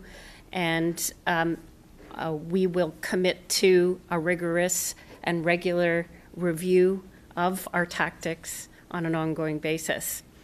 Uh, the next big bucket is just generally to support uh, member wellness, and I'm going to offer up organizational wellness as um, a key strategic priority. In other words, the work of the organization and excellent work of the organization, of the service, cannot be accomplished without excellent individual or member well being. Um, they're symbiotic, one can't happen without the other. So, we hope to be able to be in a position to proactively integrate the concepts of member and organizational wellness into all key decision making conversations. So, that would be um, business plan conversations, corporate strategic planning conversations, of course, budgeting, and negotiation conversations. We also want to further develop our key performance metrics. And um, Daisy, uh, Ivy has shown you um, some of the work that has been started, but really we're committed to fleshing and enhancing our key metrics so that we, uh, as a wellness unit and as a people and culture uh, pillar, are best able to provide informed or evidence based recommendations to the organization at large and just as importantly to frontline operational leaders in terms of how they can best manage and support uh, their members. And the last big bucket we're going to focus on in 2023 is to, I guess, initiate or invite a conversation about the implementation of the Canadian Standard for Psychological Health and Safety and Well-being in the Workplace. And this standard invites organizations to broaden their definition or understanding or focus uh, from individual or member well being to taking a holistic view of organizational health and well being. And we think that given the work that uh, Ivy's team um, and Savina's leadership and others' leadership throughout the last number of years have put us in a position where we can actually use um, the strategy to expand our definition of wellness to the organization at large. Um, and Savina, in her opening comments, uh, quite rightly sort of talked on the war for talent. So, in the last number of months, it's no secret that as a, a service, we are now struggling at times um, to meet our staffing requirements. And candidates on the street are looking to work for an employer who is truly, authentically committed to not only their individual wellness, but taking a holistic view of all the drivers within an organization that might contribute to their overall wellness. And so we believe um, that we're well positioned. This is great timing to have that conversation. Uh, the People and Culture Strategic Plan or People Plan uh, here at TPS is due for a refresh or a redo in 2023. So that will tie nicely into the work that Wellness has uh, done, and we will be able to support one another in driving wellness um, to include this broader definition. Pass it back to you. Sure. Uh, that's that concludes our presentation. Are, if there are any questions. Thank you very much for that. I would just want to open it up to Member Kostakis. You have a question. Thank you.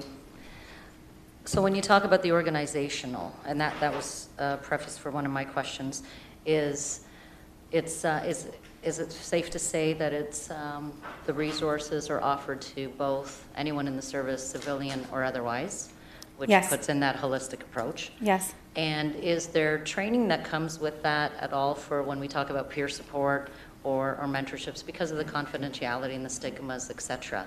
Is there anywhere in, in the strategy to have also the training pieces so people are able to identify if someone is in crises or if they're having PTS or any, any other mental health issues, et cetera?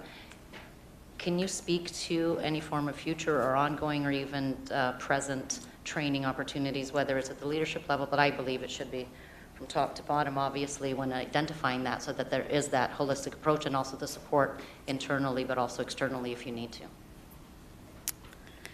Um, so the so yes, the yes the resources that are available are designed to be for all members of the service, sworn, civilian, and otherwise. Um, we um, peer support specifically um, in terms of training and um, kind of developing what I would say is a real culture around peer support is really probably the future state of where we want to go. Inherently, people lean on peer support uh, because it's a very collegial environment, and first responders have unique experiences amongst themselves, whether it's police, whether it's fire, whether it's paramedics, et cetera, um, and from one service to another. Uh, I think our goal is that we would be um, expanding the notion of peer support so that everyone has at least baseline skills and understanding of what uh, how to identify referrals to a referral to additional support whether it's you know what's appropriate what are the boundaries as it were. Um, and we do expect that that's going to come out of the out of the work that we're doing in this area and and really will be a focus in 2023 um, the before operational stress training program does speak to identification of uh, you know t- um, feelings, emotions, and otherwise. And so, uh, one of our goals there is, uh, like I had mentioned, is uh, to build some of that into the curriculum. And we're working very closely with uh, the the folks, our colleagues at the college, um, to be able to figure out where that can fit in terms of training. You know, we that's largely focused on the um, the, uh, the in terms of in, annual in-service training that's largely focused on the uniform contingent. But we are looking at ways in terms of finding ways to bring that training to all of our civilian employees as well. Um, and I would just maybe say that it's a constant evolution, and and you know it's it, we we really are committed to being a voice at the table to say that training in this area is not one and done, and that we need to have a plan year over year in terms of reinforcing some of the uh, the the messages and learnings and the skills, which is part of the reason why we want to be able to uh, um, adopt the the uh, the regional service delivery program, where we have resources from wellness who are experts in this area, to be um, more readily available and embedded with the with the, with the service operationally. Um, and I think that that will evolve as time goes by, and we're already seeing a, an, a definite interest, like Savina mentioned, in people participating, and many more people putting their hands up to say, "I'd like to be on, you know, any kind of committee, a team, a, a group, uh, et cetera, you know, to be able to to have an impact." Well, no, thank you. And I think it's important, and I, I, really do appreciate how difficult it is to and challenging because it's something that's ongoing all the time. All our health and well-being is, is ongoing and present. It's past. So I think it, it really is a, important at the pre-level before someone is with the service while they're they're being recruited during because everything changes and there's different phases and people having different experiences and the civilian piece i think is phenomenal because the civilian folks who work with the service are also exposed to what is happening and, and, and also to the individual, but also as an organization. So I, I really do appreciate that. And then just the last uh, question would be, and I think you answered it near the end, is that are people more open to accessing the resources for health and well-being within the service, whether it's civilian or otherwise? Are you seeing I think the answer increase? is I think the answer is yes. Um, I think that what we don't have a, a, very clear view of exactly what they're accessing, um, but I do I, I, do think that we are seeing uh, strong indicators that people are accessing support um, more readily, and I think that part of what we're needing to really crystallize for members is what is available for access and how to access it, and so that's a big focus for us. Um, and it, it, you know the the network is so large um, and part of the fact that the network is so large and the amount of resources that are available is also an indication that people are seeking support because there's a increased recognition that this is a population that um, that are n- at times throughout their career needing support, but also um, more willing and able to uh, access it.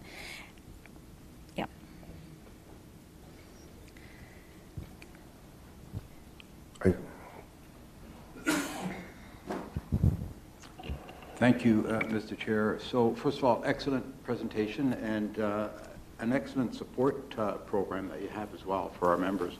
Thank you. Um, you know, I don't think we can thank our officers enough for the work that they do every day and, and to serve and protect. And, and uh, you know, I just can't imagine how, you know, at, at times how stressful and difficult it, it, could be. But you mentioned something earlier that um, uh, the members are not sure on how to access uh, some of these programs. Mhm. And uh, so I'm just wondering, in terms of specific outreach programs, uh, what do you currently do and- and what do you plan to do and can that be improved moving forward into 23?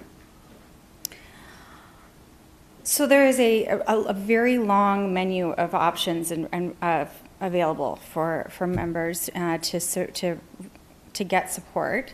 Um, that said, not every support mechanism is maybe the right one for any particular circumstance, and that's part of the challenge. So, um, one of the things that we are excited about and we're in the process of we're in a bit of a blackout i have to be honest with uh, the city of toronto and, and the ttc so we can't talk too deeply about what some of the things that we're working on but through that procurement we're trying to understand what how can we expand the the amount of um, kind of services that are available for members through their benefits is an example of something that we are uh, working on. Um, when that concludes we'll have the ability to speak a bit more freely about that. Um, uh, we, you know, we have uh, a, a, a number of external agencies that are geared to first responders that are partners with us that we refer people to. We have our internal uh, psychologists and well, um, uh, psychologists that help and uh, support members. We have our medical advisory services that also support members in times of absence and illness, um, Ill, illness and injury. We have been working with a number of um, agencies that support the WSIB process that is also very um, complicated and uh, difficult to navigate, sometimes not as timely as we'd like to be through no fault of anything but the, the, the, the complexity of the system. And so um, we not only are offering resources to people, but we're also trying to find ways to advocate for what resources people might need. Um, and so getting that information and having a, a flow of information is that much more important to us to be able to understand what it is that our members do actually need and want. Um, and also where they don't want to be have have the service be involved because that's another very real factor is that we we need to allow people to uh, kind of be the architects of where they want to be in terms of accessing care and support not necessarily entirely um, uh, getting too involved in, in the in the personal choices of personal health information as it were Um, If I could just, um, That's fine, thank if I you. could just respond just to the access piece, because I think that, that is a key piece of this. So currently, what we do have is the, our internal website's quite robust now with all of the kind of ways, all of the um, sources, all of the resources that are available. So there is at least a central spot where a lot of the inventory of resources and where to go for support is available. It's regularly promoted whenever there is a critical event. Um, we, that is the first thing that's sort of up and running, and we make sure people are aware of it. Um, the other piece is that um, the, the intake center, one of the one of the features of it is system navigation. It is to kind of help navigate um, members that are looking for help on how to access it and determine which one best fits their need. Uh, Vice Chair? Yes, just, just a couple of comments. Uh, First of all, I'm looking at the return on investment. That's, that's amazing. Wow, that's, that's a lot. So thank you for that. I mean, wonder what we're doing at the city. Uh, Got budget time. But just that, just uh, one question about the partnerships, the key partnerships. And we talk about the therapy dog pilot and proactive presence at selected divisions. Can you just expand a bit on that and on that So, program? Yeah, um, so we have, uh, actually, we've been working with St. John Ambulance even before the pandemic in order to try and have uh, a pilot of therapy dogs coming out to kind of proactively, not necessarily in response to a critical incident, but more just um, periodically kind of going around to various divisions. With the pandemic, it was more difficult. We had to kind of put that on pause for a bit. This year, we've been able to ignite that and start it. So, um, what that looks like is that the St. John Ambulance um, hand, dog handlers for their therapy dogs will go to on a rotation and on a schedule in a it's all volunteer. Uh, they go and bring their dog to, uh, say, a division where people can spend, you know, whether it's let's say it's two hours at a time, and anybody who's in that division has an opportunity to kind of engage with that animal. Um, and that's what that looks like. That's that's essentially what that program is, and it's exceedingly well received. Um, it's amazing to see how quickly a uh, you know these therapy dogs uh, can diffuse uh, diffuse situations, bring people's um, mind to the moment of uh, engaging with the animal. It's not for everyone. Not everyone loves animals. Not everyone has that experience, but uh, it is something that uh, it is something that we generally get really good feedback on in January, we'll be uh, doing something some, uh, like a real promotion of this with uh, for in alignment with Bell Let's Talk to sort of focus on mental health. And uh, we've uh, asked the response. We've actually just sent out a, um, a, a, request to the service for units to kind of let us know when they'd like that, that therapy dog to come. And uh, the, the the, the response has been overwhelming. We probably will need to expand that if we if we if we can. So that's that. I, I do know that um, um, they bring the therapy dogs uh, um, to um, uh, uh, the nursing homes, long-term care mm-hmm. for, for this. Yeah, I, I know that because they did that when my parents were in a nursing home. So, yeah, I, so, so thank you for that. Thank you. Yeah, thanks. Any other members? I just have a, a, couple quick questions. And again, thank you for your presentation. It's uh, quite informative.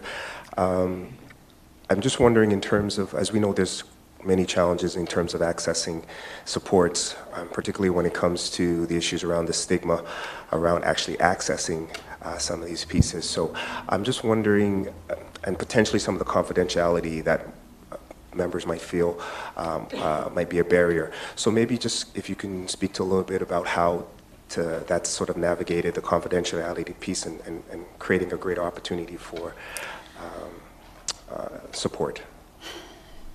So confidentiality uh, is a is a very real factor, and, and trust and, and confidence in the resort in the in the in the services that we have. Uh, we're seeking to kind of um, work on that incrementally uh, as the more we go down the path, and um, you know in terms of another thing that we, you know, just about speaking about training opportunities, uh, I think about that for supervisors. Uh, there's an opportunity for supervisors to be, you know, re re-educated and have it be reinforced around what the boundaries of uh, confident support and confidentiality are. You know, I think that in a in an environment where um, relationships are so alive and so important in the work that we do. Uh, trying to figure out how to how to create those boundaries of confidentiality uh, is a challenge. Um, we are looking to do some, you know, very structured kind of education sessions around confidentiality for personal health information and what that looks like. Um, but we I guess we're putting a lot of uh, a lot of confidence in our own ability to, um, through a lot of the health promotion activities, to make sure that we're reinforcing through that being pre- present and promoting at units and divisions and conversations with members that confidentiality is important, that stigma. Uh, is real, that we want to normalize accessing of care. And so finding ways to kind of say that it is normal and it is um, good self care to be um, accessing support is um, we're putting a lot of stock in, in the impact that that's going to have, and I think that we are starting to see a little bit of a cultural shift. That said, um, you know, it's a it, disclaimers on confidentiality is consistently important um, for all the reasons that you you've said that can be a barrier. So.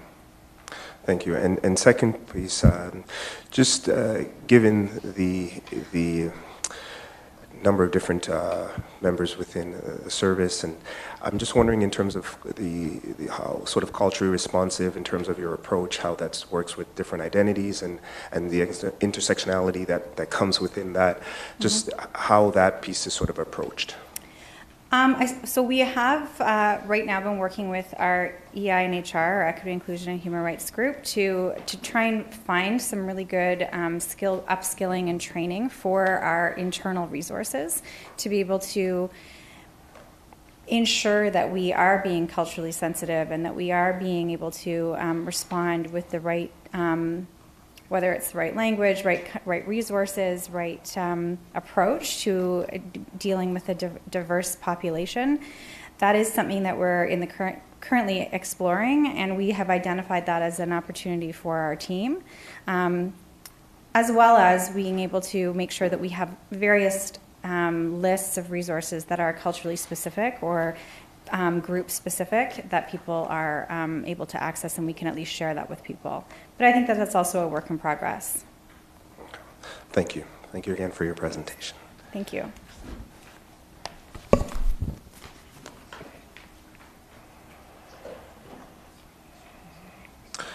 So I'd like to have a, a motion to receive.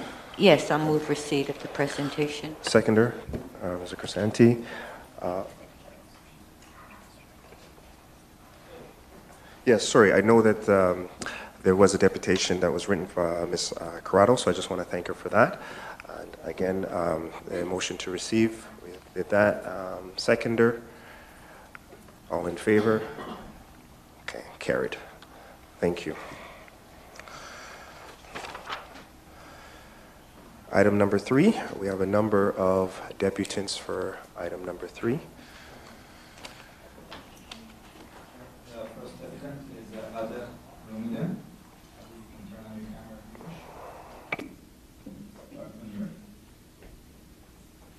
Yes, uh, thank you for the opportunity. I, I want to say off the bat that um, in terms of defining what the problem is, I think only about um, 1% of uh, police complaints ever lead to a hearing.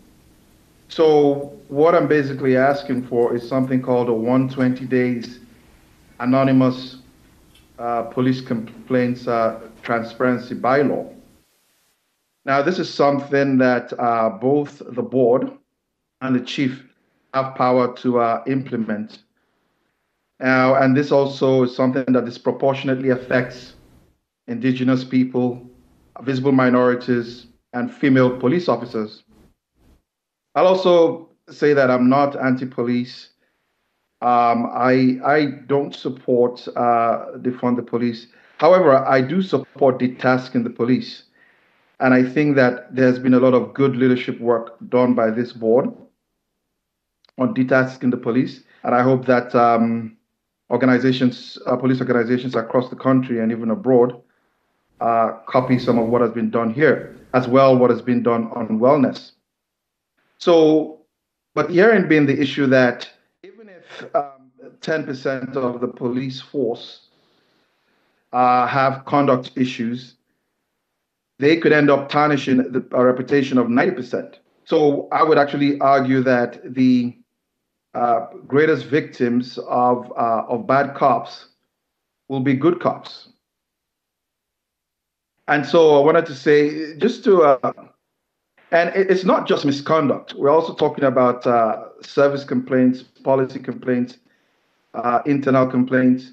And just to give an example uh, of a policy complaint, because I know that for set, some of these complaints or issues people would be familiar with, certainly when it comes to uh, uh, visible minorities or, or the black. Can you hear me? Yes, we can. Okay. Uh, or, or, the black community.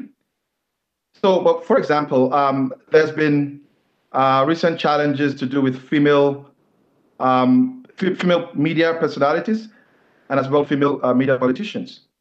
So if, for example, there's a, a policy complaint that says uh, section 175 of the criminal code says it's a crime to cause a disturbance by uh, screaming, shouting, swearing, using insulting or obscene language. And then uh, 265 of the criminal code says uh, if you attempt to threaten, so not even threaten, and the other person has the uh, believes that you have the ability. So what, what I'm basically going to is that what's the police policy on making threats of violence against female politicians? Now, someone who makes that complaint to say what is the police policy, the public should have a right to see what the response of the police is. And then the other thing uh, is that to show you just the merit of what I'm asking for, for the ombudsman to be charged with this, uh, is that there have been about five private organizations, mainly academics, uh, lawyers, one in Alberta, uh, four in the States, who have tried to do uh, police misconduct databases at various levels. But they're, of course, limited because they're only going by public information. Uh, but again, if, if, it never gets to hearing, uh, and bearing in mind only 1% get to hearing, so basically you have 99% of complaints, there is no, um, there's no public uh, disclosure or transparency.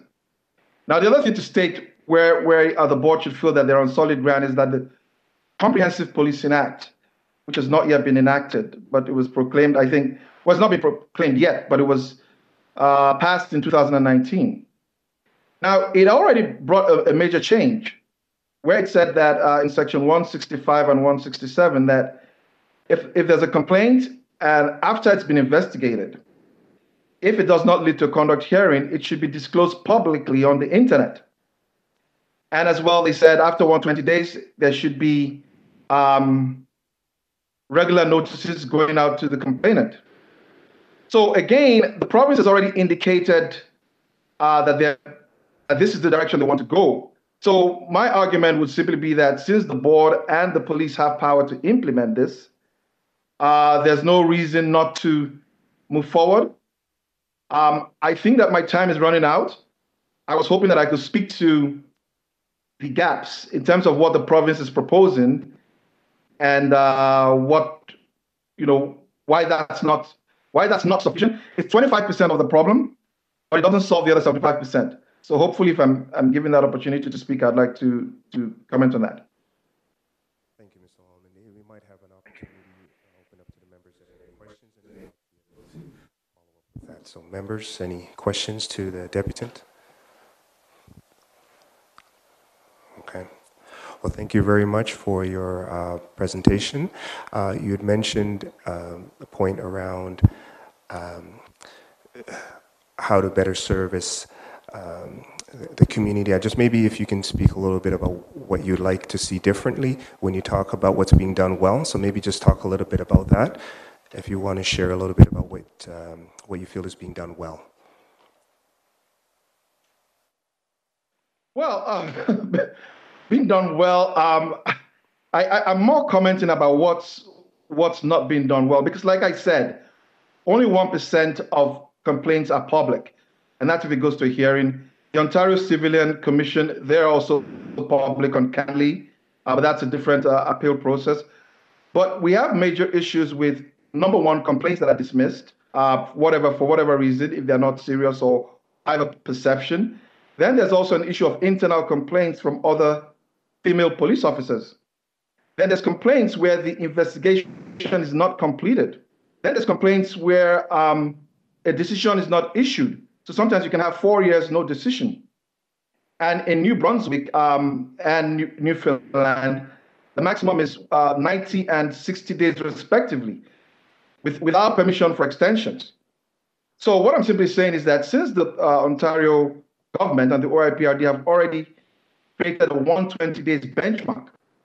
What I'm simply saying is that after 120 days, the public should have a right to see that complaint online and see whatever decision or lack of decision, uh, if there's a need for any redaction, and when the investigation is complete, we'll be able to see whether that redaction was uh, was um, well, you know, was truthful or not. So the the, the, the, the so I guess the, the focus of the complaint is just saying that only 1% is public.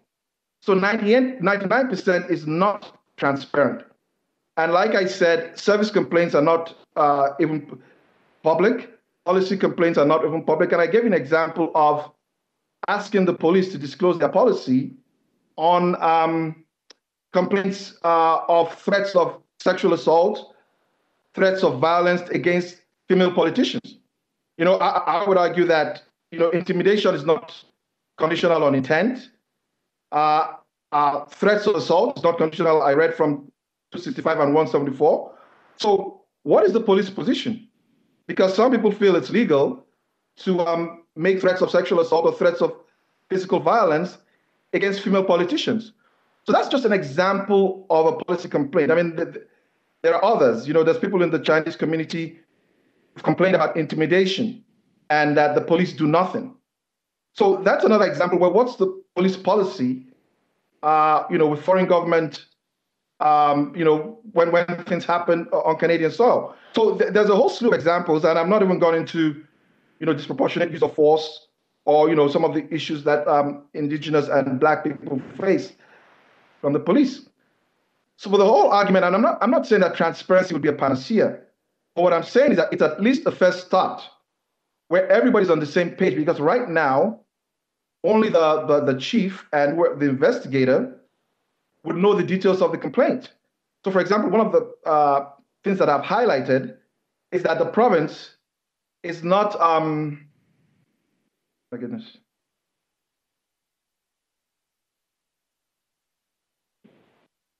Hello, can you hear me? Yes, we can hear you. Can you hear me?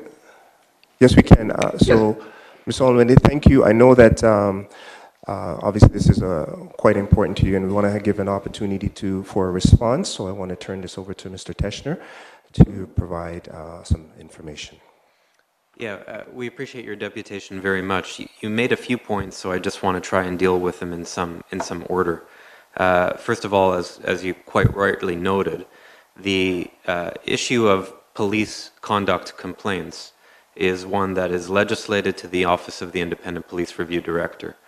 That office is a provincial independent body that manages a public complaint process and also investigates policy and service complaints, which you also mentioned.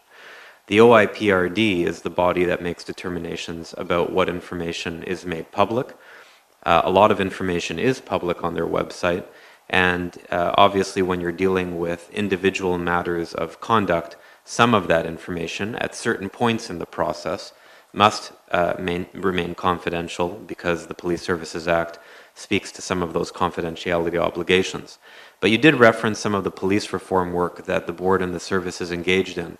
And so I do want to bring your attention, if you weren't aware of it, that one of the board's 81 uh, directions on police reform talked exactly about your point, bringing enhanced transparency uh, to the disciplinary hearing process.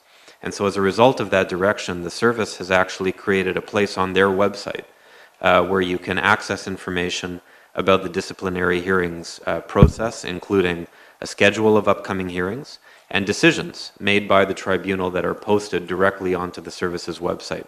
So, I think some of what you've talked about is actually available now as a result of, of the work that you referenced. So, I wanted to make sure that you were aware of that, recognizing obviously that there are certain things that, in any context, policing or otherwise, because you're dealing with human resource decisions, uh, remains confidential up to a certain point in time and sometimes permanently, uh, depending on the nature. But in terms of the transparency of the disciplinary process, uh, if you go to uh, tps.ca, there is a dedicated page to all of this information. Thank you, Mr. Teschner, and thank you, Deputy, for uh, sharing. May I respond? Um, no, I, we need to move on to the next deputy, but I, I do. Uh, we did give you uh, some additional time. So we provided you an opportunity. We can, if you'd like to email, we can maybe speak to you separately, be outside of this uh, session. But we want to be able to honor the other folks that are also here. So uh, thank you again for your deputation. And Dubi, could we have the um, the next deputant, please? Sure. Uh, next applicant is uh, Kainasha, if I'm pronouncing it correctly. You can unmute now. Uh, should receive a prompt from the system. Good morning. Can everyone hear me? Can everyone hear me? Yes, we can. Oh, hello. Um, thank you for the opportunity to um, provide my very first deposition. Um, this is um, I'm really um, glad to be here. And I want to thank um, uh, the deputants beforehand and everybody in the committee uh, and uh, who everybody's a part of the meeting today. Um, I also um, want to um, kind of like double down on what the first deputant who did uh, the deposition on the on the previous meeting minutes, um, his disclaimer or kind of his like um, speech in the beginning where he says he does not provide consent to anything. I kind of want to like use that for myself as well, if that's okay. I never thought about that. but that would be helpful. Um, so I'll get specifically to, um, I guess, the, um, the agenda item, and this is for the draft MOU between the, the Ombudsman's office and the board with Toronto Police. Um, I kind of went through the draft, and and I, from my understanding, it was based off of a recommendation from the um, the the police report that was submitted a while back ago, and that report and and its recommendation, and the essence of that and the essence of the draft MOU, I feel like are a bit misaligned in a sense. The MOU draft kind of comes from a more of a corporate, you know, business to business relationship rather than how the recommendations in the report kind of speaks to a more of a collaborative and um, supportive relationship between all parties. But that element of all parties is missing from the draft MOU. For example, it says um, to only have specific um, um, that the, co- the officer offices reports directly to the board or the Toronto Police through the chief of police, but doesn't include a community group or other um, stakeholders who might not be um, might not ha- have the opportunity to voice the, uh, the concerns. So maybe I would suggest to kind of before moving forward on a motion on the MOU because this is going to be legacy work and it's really if we don't get it right the first time, a lot of people and a lot of times a lot of minority people voices are, uh, and concerns are, are not heard. So maybe before motioning to move forward with this, we can set up a uh, a, a working group in, in, in a balanced stakeholder uh, matrix where stakeholders have opportunity to provide uh, recommendations on how to improve the MOU to ensure that it is a um, collaborative and community first approach. And that's kind of and, and to be honest, like I'm just a I'm I'm I'm a second year uh, student, university student, and and I have been doing a lot of community work for a lot of years, and I've always noticed that once folks just invite others to have a conversation, it kind of really provides um, a better buy-in and ensures that there's a stronger um, relationship for future opportunities, like future collaboration. So I kind of want to bring that perspective from a youth. And this is kind of my first time, so I'm sorry if I'm not doing it in the in the most formal or elegant way, but I feel like it's an opportunity. And also another thing is that maybe um, access to information, so more youth like myself can um, like when I say access to information, like if if I feel like more youth will uphold their civic duty to be part of this process and kind of provide their perspective and insight if they knew about this information. I think maybe it would be great if, you know, the board and the board can think of how it can further its communication reach and ensure that more youth are having opportunities and hearing what's happening, uh, you know, in action live with, you know, the elected officials. So more youth will be more inspired to take part of the process and provide opportunities. And because if we don't voice our voices, if we don't uh, um, have opportunity to value our voices, um, how can we, you know, how can we like? A lot of times people expect the the young people of today to be the, uh, to us to be the leaders of tomorrow, but how can we be the leaders of tomorrow when we don't have an opportunity to lead now? So that's why I'm.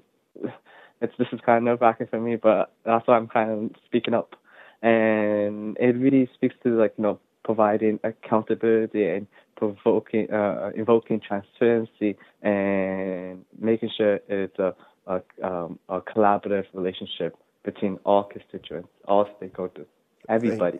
Thank you, thank you very much, Mr. Kanashi. And again, as, as you, uh, being your first deputy, I appreciate you taking the time to do so. We do have the ombudsman here, and, and hopefully you continue to listen. You might be able to provide some of the answers you're seeking. So again, thank you for your deputation, and I would like to uh, call the next deputant. Uh, and first,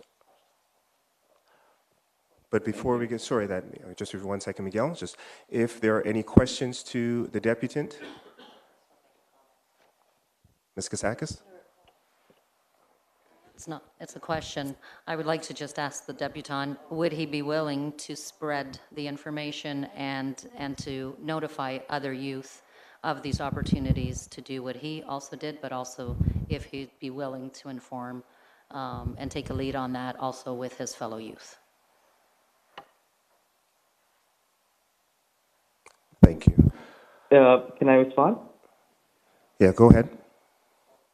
Um, absolutely. So I'm part of a, a, youth group of university students uh, at uh, the University of Toronto, and we share information like this and even job opportunities and scholarship uh, or grant writing uh, sessions and even like know your rights sessions. And uh, we are always sharing information. So if there's other opportunity, we make sure to share it out. And actually, um, matter of fact, I only came to know about this whole meeting is because um, I'm going through a, a process with the um, um, the Toronto Police where I'm trying to request information, but they've been giving me a lot of difficulties, and that's kind of like unfortunately. And then one of the individuals, Ian Williams, I think the director of the access and privacy section, has kind of like not been acting in accordance to standard operating procedures and releasing uh, requests for information in, in, within 30 days that has been lagging for over like 90 days. And this is actually affecting me and and and me and the other youth because me myself I'm homeless right now. And so I've been trying to um, get the paperwork from my police reports and providers for my dispute, but they are uh, declining, uh, take uh, really dragging the feet, and, and I'm trying to uh, fight homelessness and this is kind of something that why how I came about to know about this, and that's why I wanted to speak to that. And then once I saw the whole MOU, I said, oh, I should probably provide a, a one two comments. Yes, and I, we appreciate your comments, and I thank again for your deputation. Uh, we'll move on to the next deputant, uh, Miguel. Also, I just don't want. I want to co- confirm that sorry, I don't consent sorry, to be identified. We, sorry, we've moved on to the next deputant. Again, thank you for uh, your deputation, uh, Miguel. Thank you.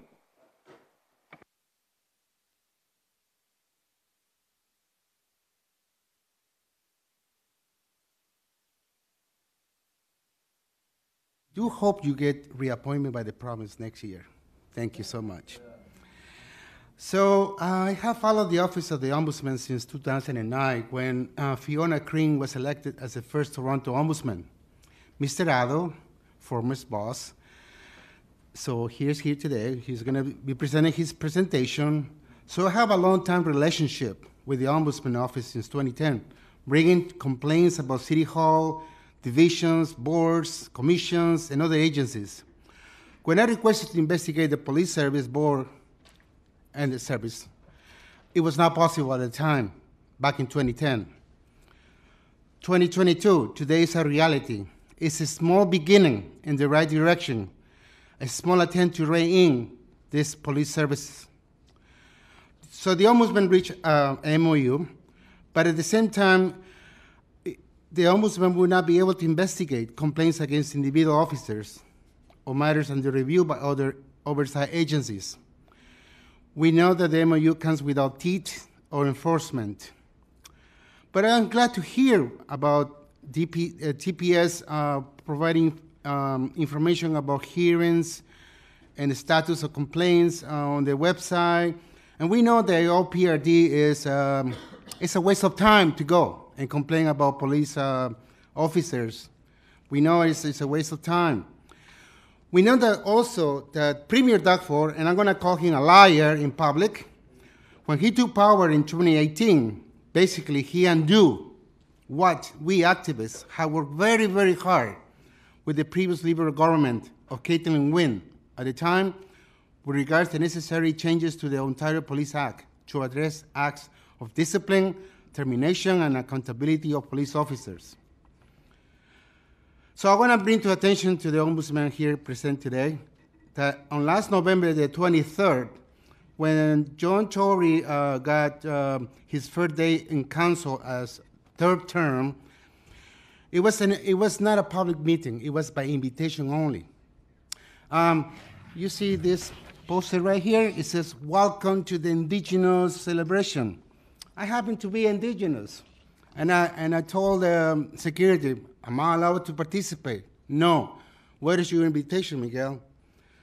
So that's something that you need to investigate. And I have a video, by the way, so you're going to have some fun watching that video.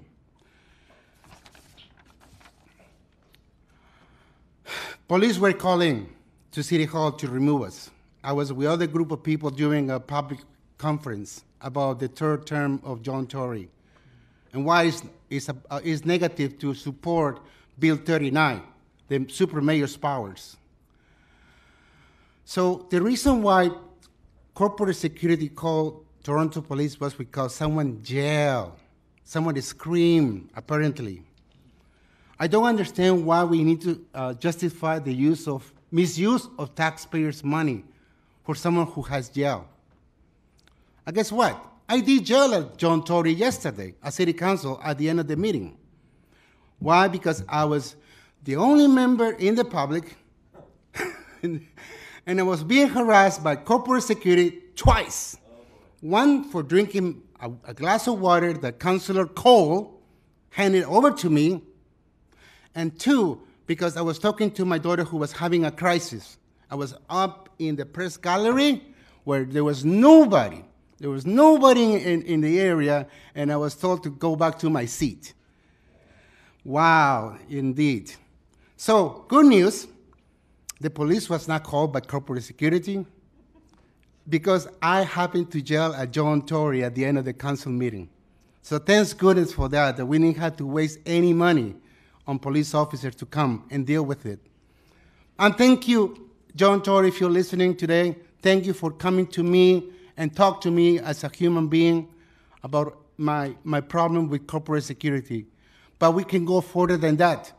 We can have the Office of the Ombudsman review the procedures because they're going overhead. In my opinion, they're exaggerating the, the policy of entering, leaving the council. And most important, my friends, I need to ensure that the voices of indigenous people are always respected. And as I said, I have this, this picture right here. It says right here, welcome to the indigenous welcoming ceremony. And I was not allowed to be partic- a participant of that event. Shame, shame, shame.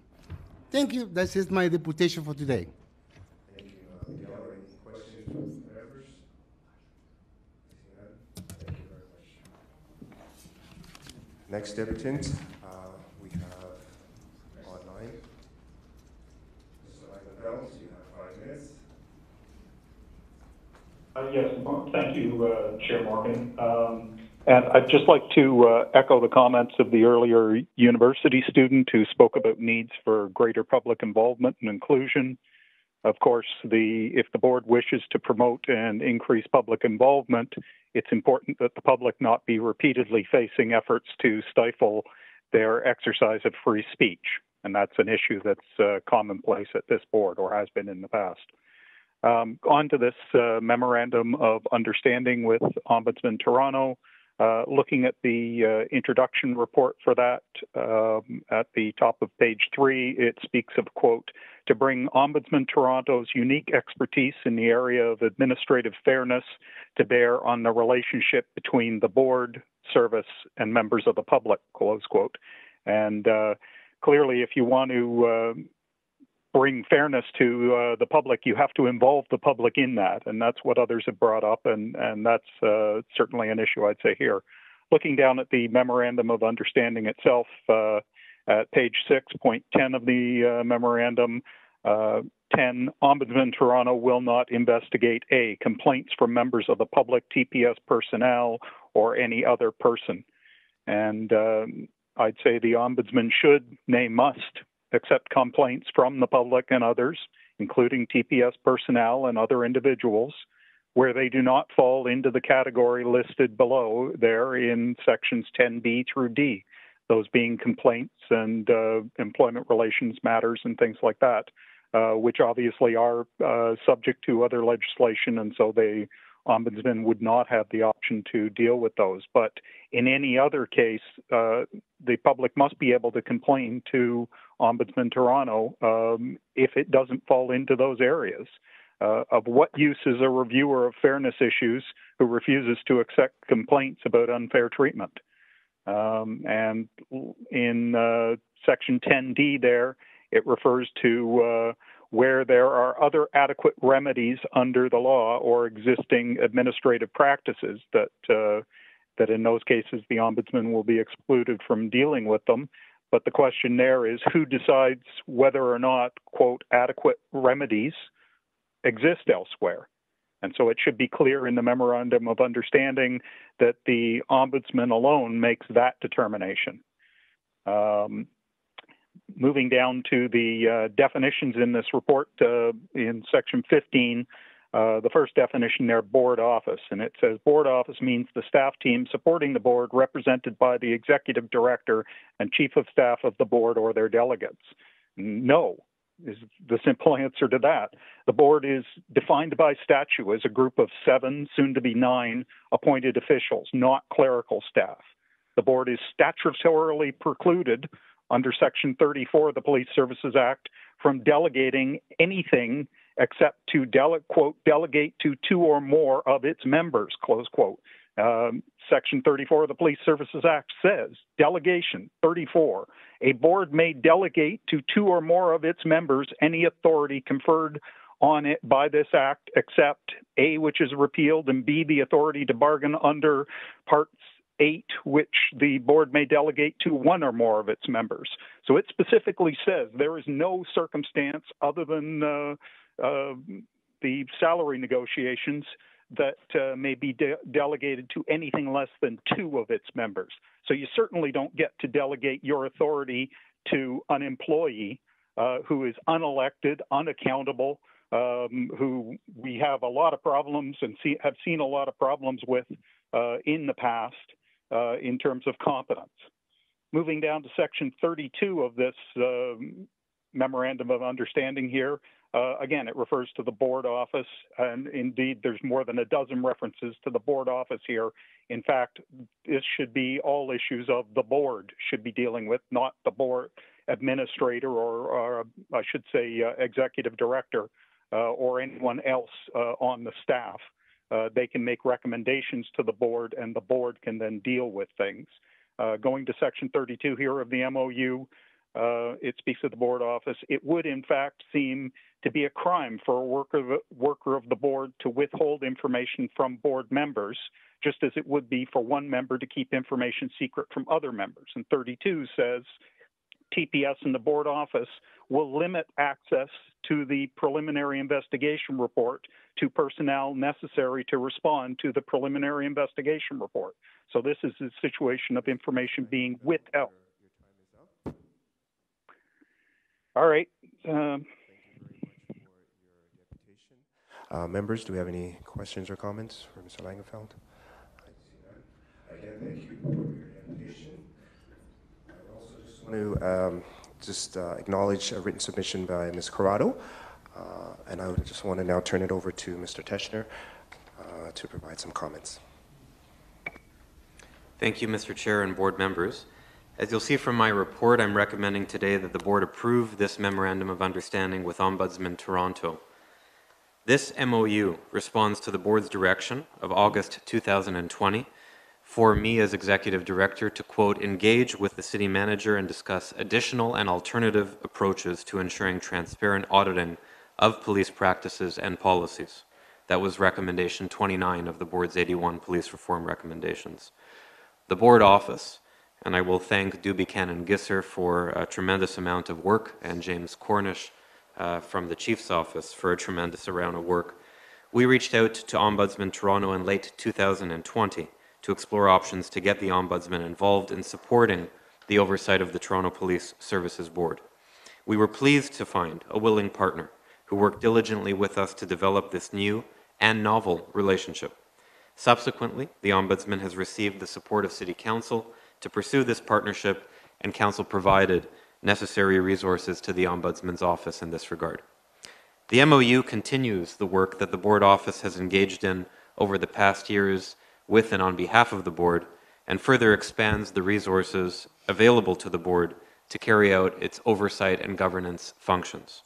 Through this MOU, the Board will gain access to the unique expertise of the Ombudsman's Office to investigate matters of fairness and make sure that the service provided by the Toronto Police Service to its clients, to the people who live, work, and visit in Toronto, is of the highest quality.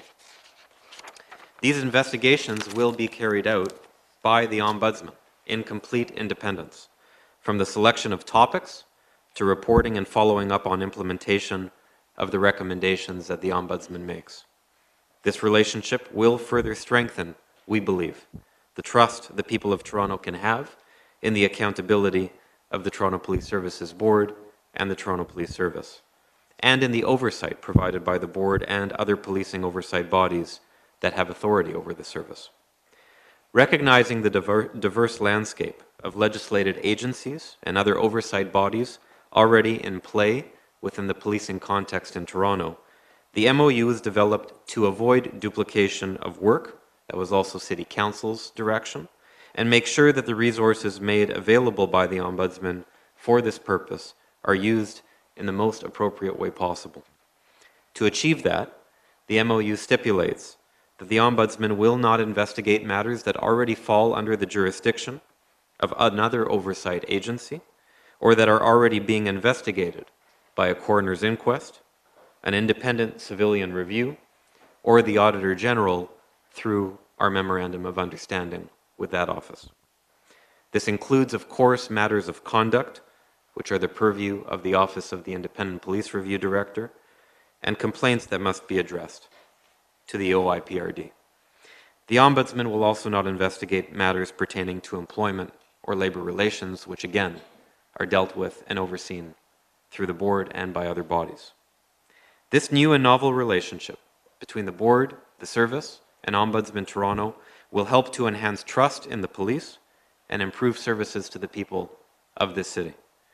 The service has expressed its commitment to work collaboratively with the Ombudsman, much as it has worked already collaboratively with the Auditor General of Toronto to ensure the success of this relationship. We at the board office also stand ready to support the board in whatever way necessary to ensure success. Ombudsman Kwame Addo is present here today, and I understand he would also like to make some comments ahead of the board considering the MOU.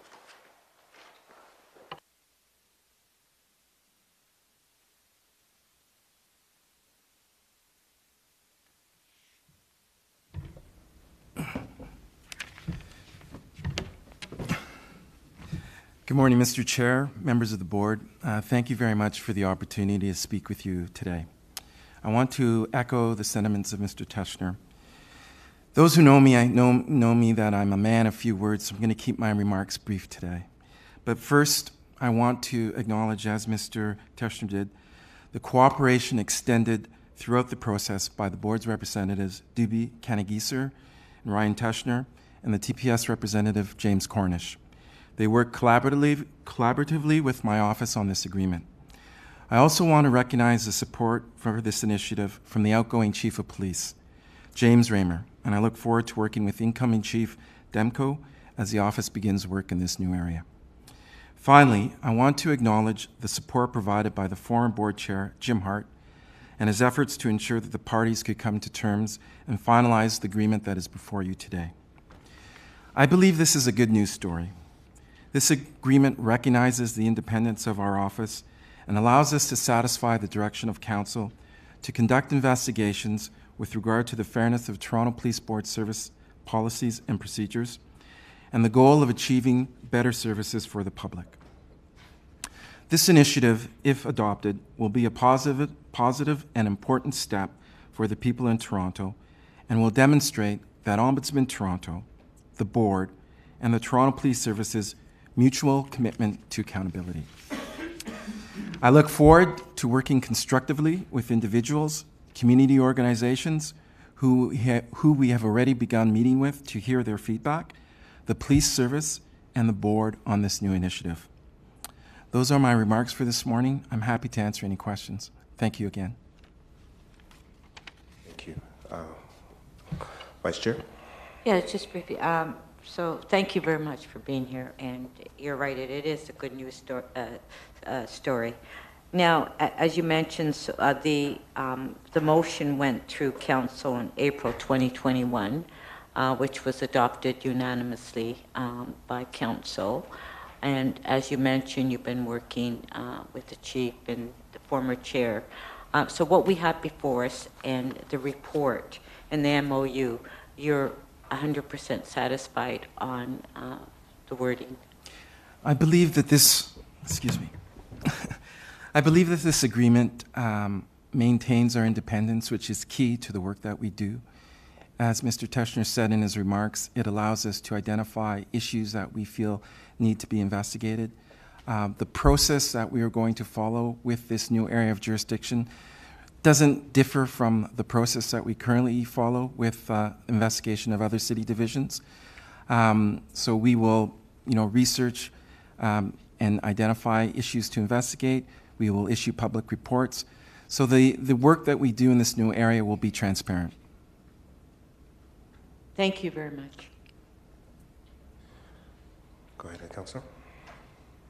Thank you. Uh, I'm one of the new kids on the block, so just uh, um, I think it's it's good to have independence uh, and to be able to examine policies and procedures. And there, the, you know, I know there are constituents that are tuning into the YouTube for the first time ever, perhaps today, and uh, it's a learning to, um, about this. So I just want to um, make clear that for those uh, people who do have grievances about the police um, or work grievances, there are independent bodies and processes already in place, um, and it's it's that's why this memorandum does not include those, those pieces. Is that correct? Uh, through, the, through the board chair, yes, councillor. Um, when uh, council decided in the spring of 2021 to provide our office with this new area of oversight, they did make it very clear that our work shouldn't duplicate existing uh, oversight, and so that's why um, the the concerns that you identified uh, in your question uh, would be addressed by other uh, oversight agencies that are currently in existence. But if individuals do contact our office, that doesn't mean we won't listen to them. We will direct them to the appropriate body, and uh, we'll also make note of what they have to say, um, as that information may be helpful in helping us decide uh, future investigation topics. So I guess my question is, um, you you mentioned that you will your office will be identifying the issues uh, with regard to policies and procedures. Where will you source information and data that will help you determine which areas would, should be examined? So it would be not unlike what we do now. We, we do our own research, uh, we review existing uh, policies and procedures. We engage with uh, key stakeholders to get an understanding of what issues um, are important to them. So we'll use that information and analyze it and identify and determine what, uh, what are appropriate um, investigations for us to pursue. Does that mean that the public is invited to contact the Ombudsman Office uh, if they have concerns about policies and procedures uh, to uh, perhaps inform your decision making? So, um, as you as you know, we not we are not able to take individual. We're not going to be investigating individual complaints. Mm-hmm. But as I as I said previously, if um, members of the public uh, contact our office, we'll be willing to listen to them. And as part of our work, we will be engaging with key stakeholders to get an understanding of what issues are important to them. I think it's important, as I think one of the early deputants said, that um, we hear from, from all stakeholders. And the other thing that I, I have forgot to mention is that our approach is going to be uh, through a systemic lens. We're going to take a systemic approach through our reviews. And so any issues that we identify or any gaps that we identify, we will um, attempt to address through making recommendations that will prevent the issues from reoccurring or um, provide improvements to, to the process. And just one last question. Do you feel you have access to all the information that you need to identify the key areas that need to be investigated? I believe that this agreement allows us to do the work that we need to do and have, allow us to have access to the information we need to, to carry out this work. I, want to stress again that uh, to this point, We've had nothing but good cooperation from all the parties that were uh, involved in arriving at this agreement, so I don't anticipate that that should change. Wonderful. Thank you so much. Any other members? Okay. Thank you very much, Ms. Addo. I think this is uh, uh, an exceptional partnership. And I look forward to uh, the work ahead. Thank, Thank you. I'll I'll move the recommendation. Do I have a, a seconder? Ms. Kostakis? All in favor? Okay. Carried.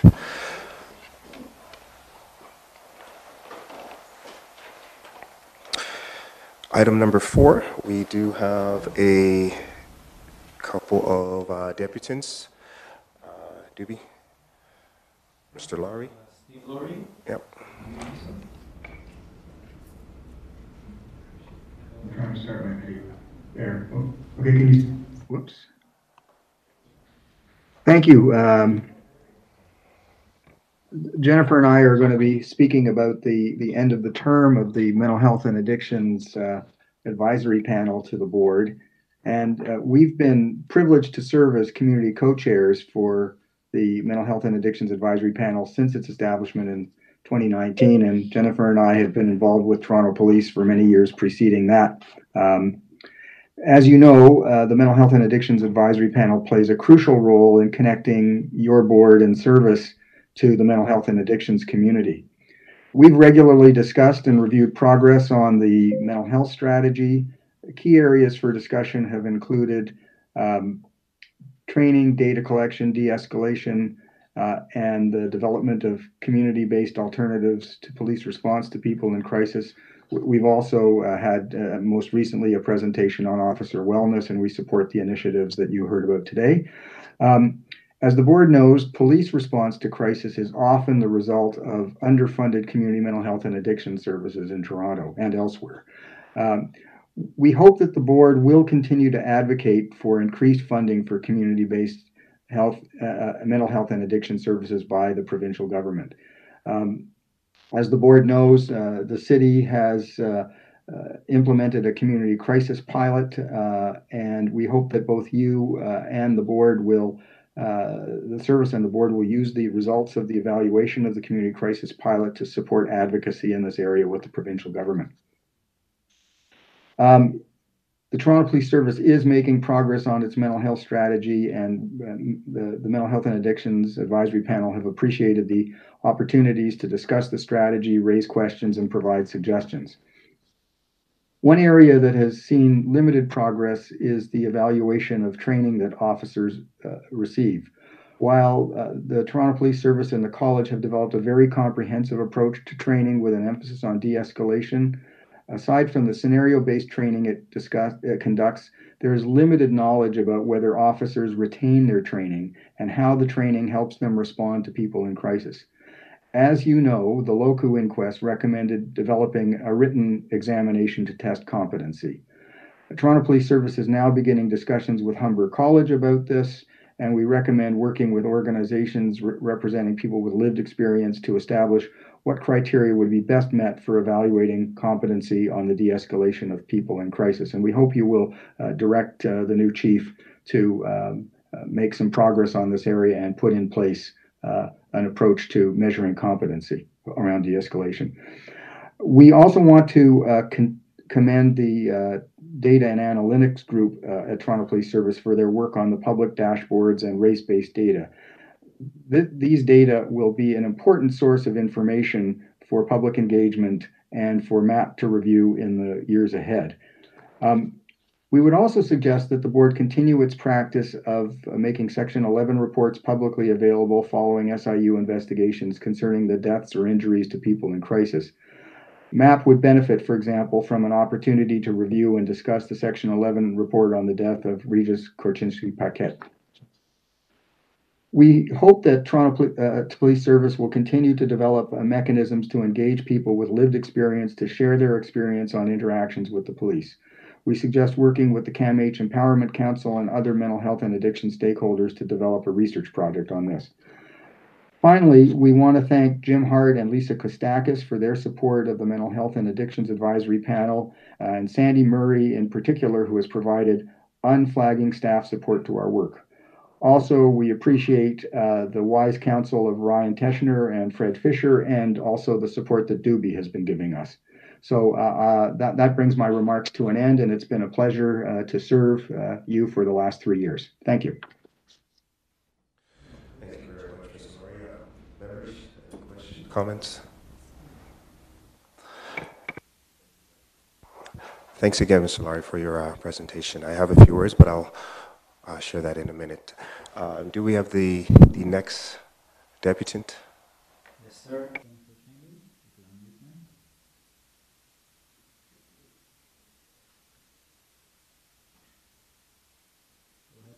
Hello? Uh, I wanted to underline the thanks that my excellent co-chair, uh, Steve Burris, just gave for, on both of our behalf. And I decided to address you today as Executive Director of the Empowerment Council to emphasize the importance of centering the voice of people with lived experience when making decisions about people in crisis. The need identified in previous submission today for police officers to feel safe by concealing their seeking of mental health services kind of indicates there's still a long way to go toward changing attitudes for people perceived to have mental health issues. So in this context, we emphasize that people with lived experience a community to hear from and deserve to be a primary voice in matters affecting us. The, the Town Police Service Mental Health and Addiction Strategy that MHAP is overseeing and is advanced for Ms. Chambers? by Sorry. larger Yes. Sorry to interrupt, but we- can hold your time for, uh, it's really difficult to sort of hear you. I'm not sure, it seems like we have a bad connection. Um, It just seems really difficult to hear. I apologize. I think it's because I'm in the mode of transportation, so probably getting background noise. Right there?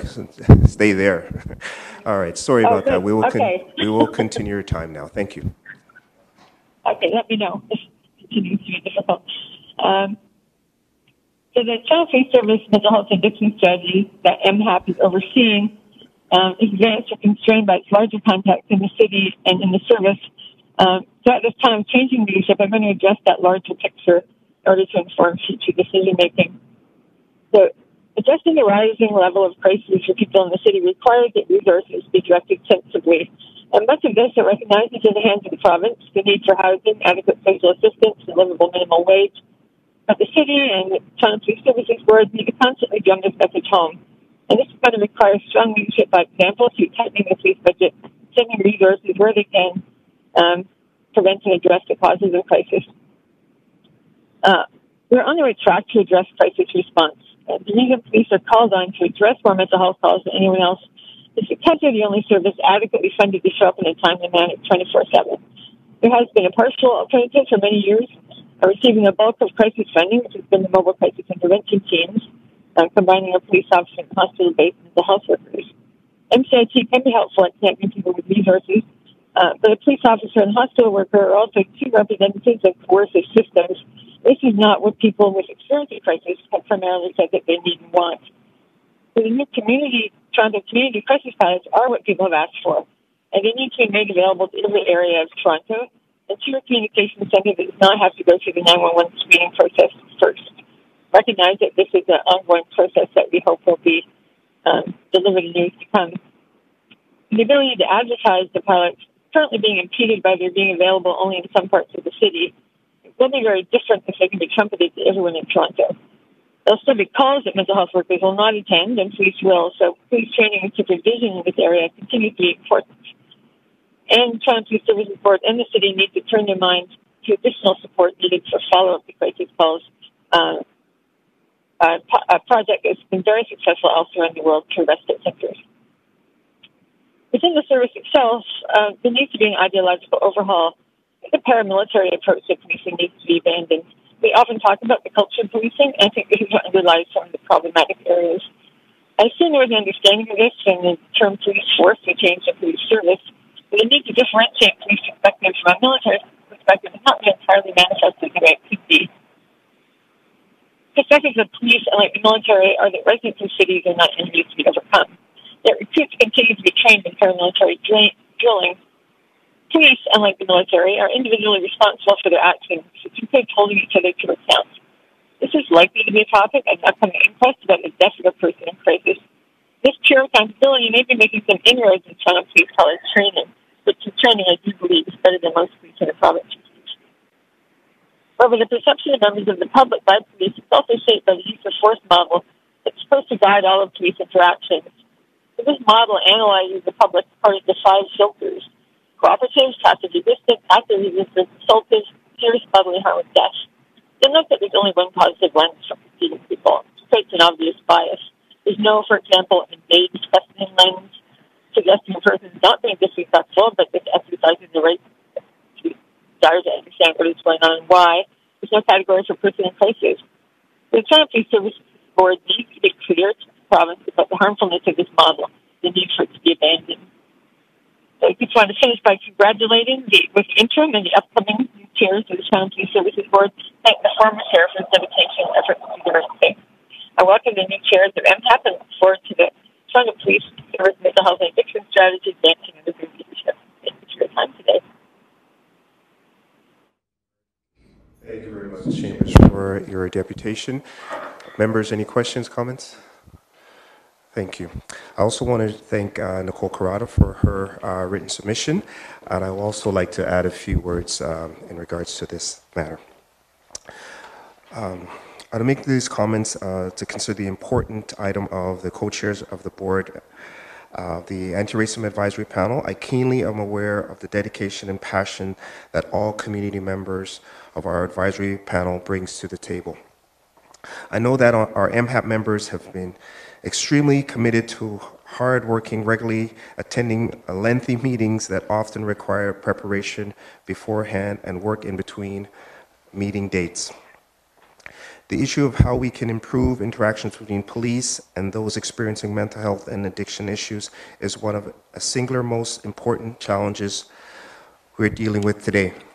I firmly believe that because of the collective input of our MHAP community members, we're now doing this better, more effectively and more compassionately, and I will continue to this improvement based on the approach taken by MHAP. To all our outgoing members, I want to sincerely thank you for your incredible commitment to this vital work, for your pro- uh, progressive and innovative ideas, and for your sincere desire of making it better for all Tor- uh, Torontonians, including those in crisis and those dealing with mental health and addiction issues. In particular, I want to thank our outgoing co-chairs, Jennifer Chambers and Steve Lurie, for their bold and impressive leadership Many people have no idea just how many, how much time, work, and energy goes into co-chairing a panel of this kind, and they have both given of, of the uh, of these selfishly. In genuine pursuit of making changes to improve our interaction with people dealing with mental health and addiction issues.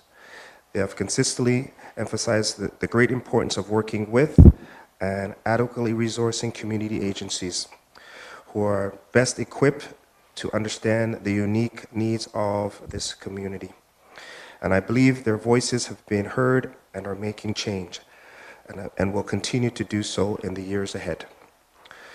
They have reminded us that the voices of those with lived experience just all, uh, must always be incorporated in every stage uh, to our approach, as without this, we simply cannot effectively meet the needs of, uh, of our expectations.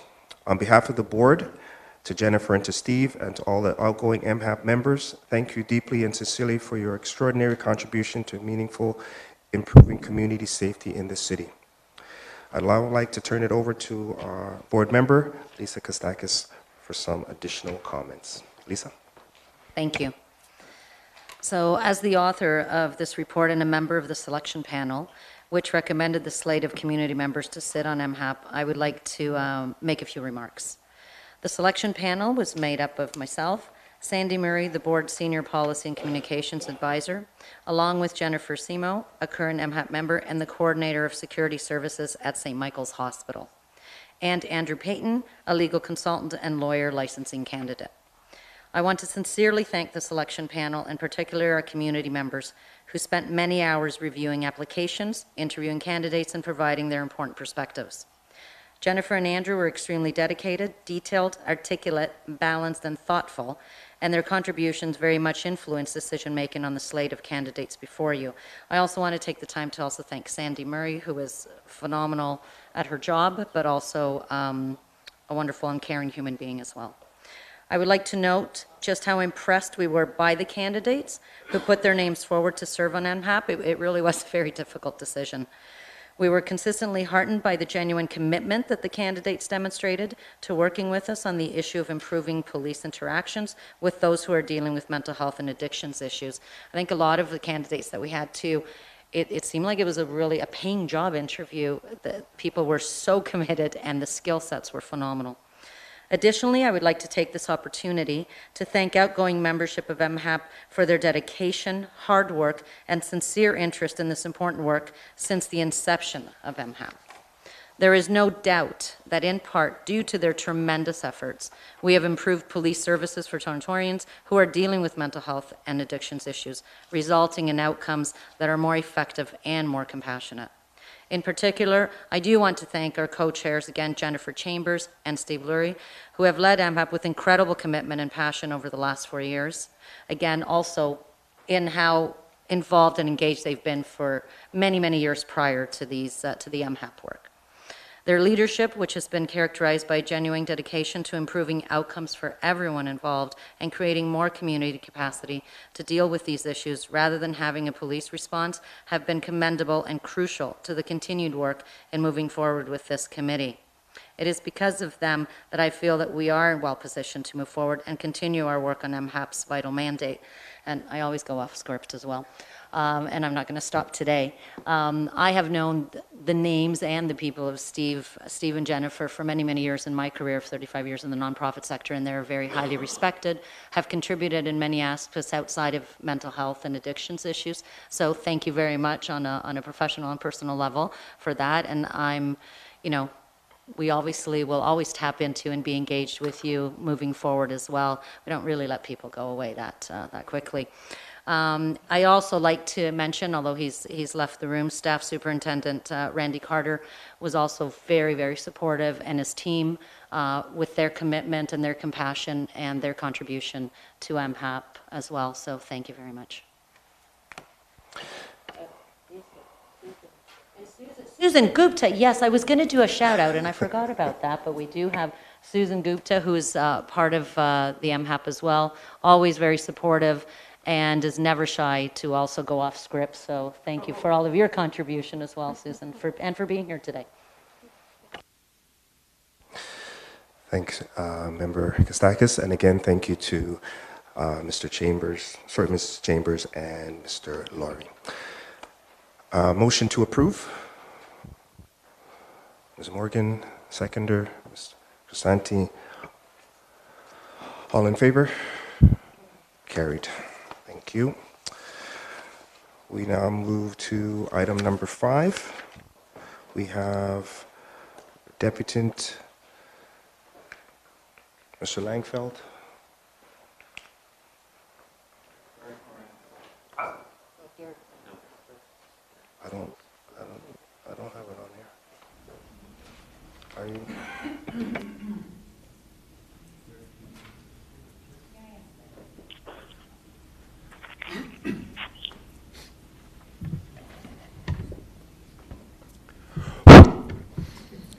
So, um, speaking about meetings, do you remember how just before COVID, the last meeting we had, you, you guys had started doing like a tour around the city, and we had a meeting at North York Civic Center. And I just wanted to point out there wasn't always bad blood between Jim Hart and Chris Langenfeld.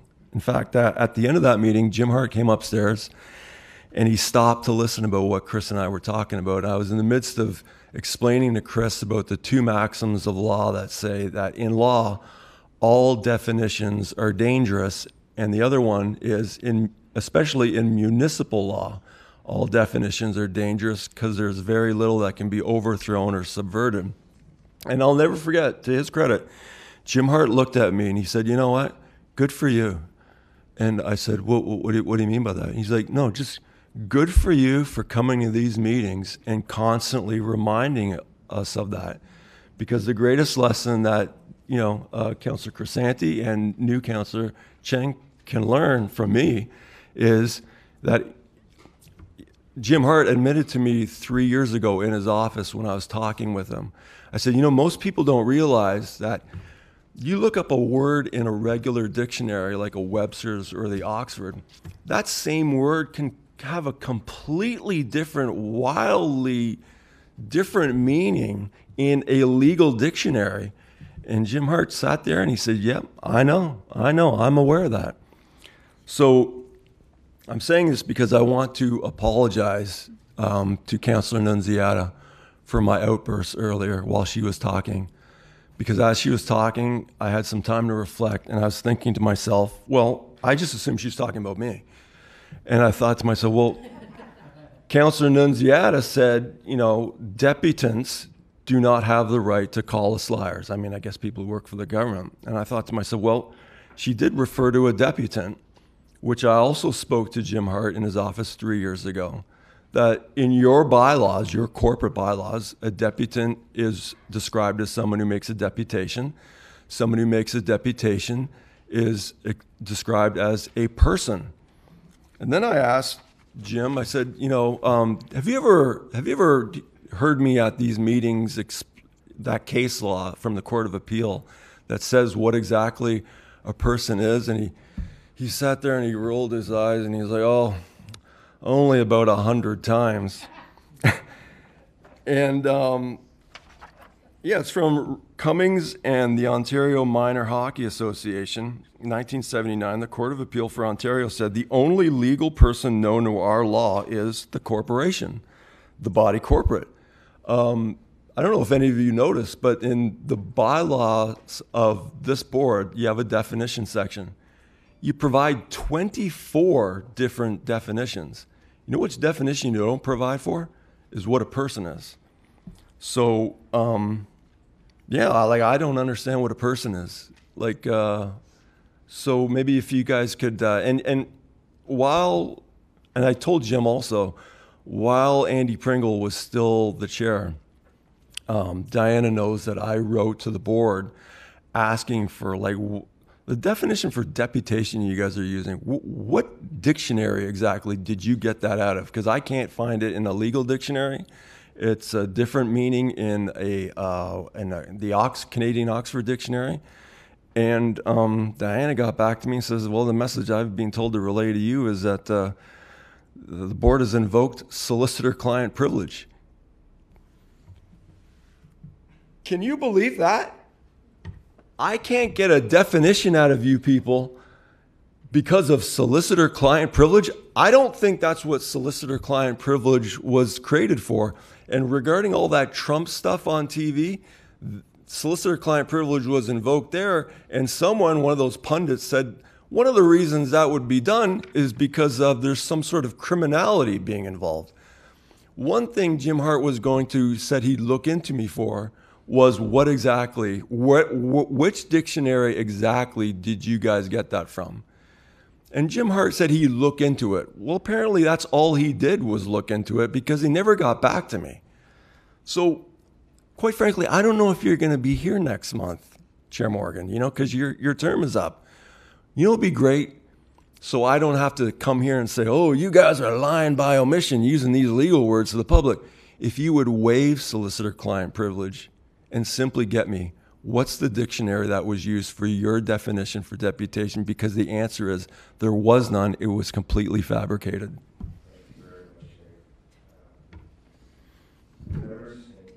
Councillor Nunziata, she's such a good sport. She's laughing there. Apology and acknowledgement, so thank you. What? I I will be here next month. That's right. Yes. Thank you. Dubi? Mr. Uh, Langenfeld?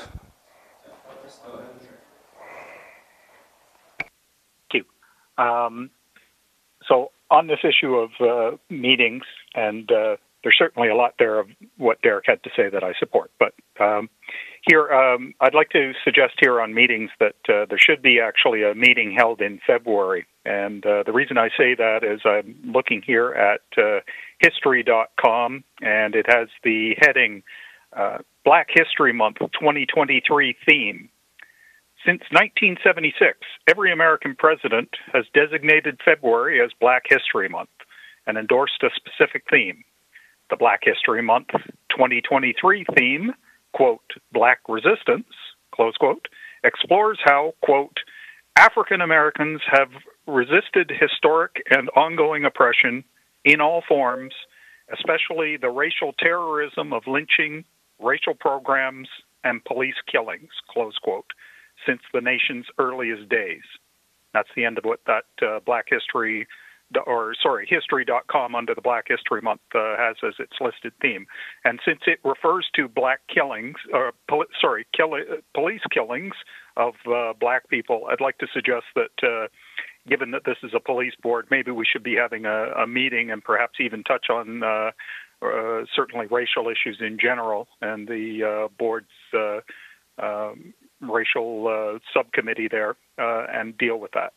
Moving on in this uh, issue here of meeting scheduling, looking down at um, times and locations, there's reference here to um, the principal focus remains to hold board meetings in a manner that complies, that best complies with public health guidance.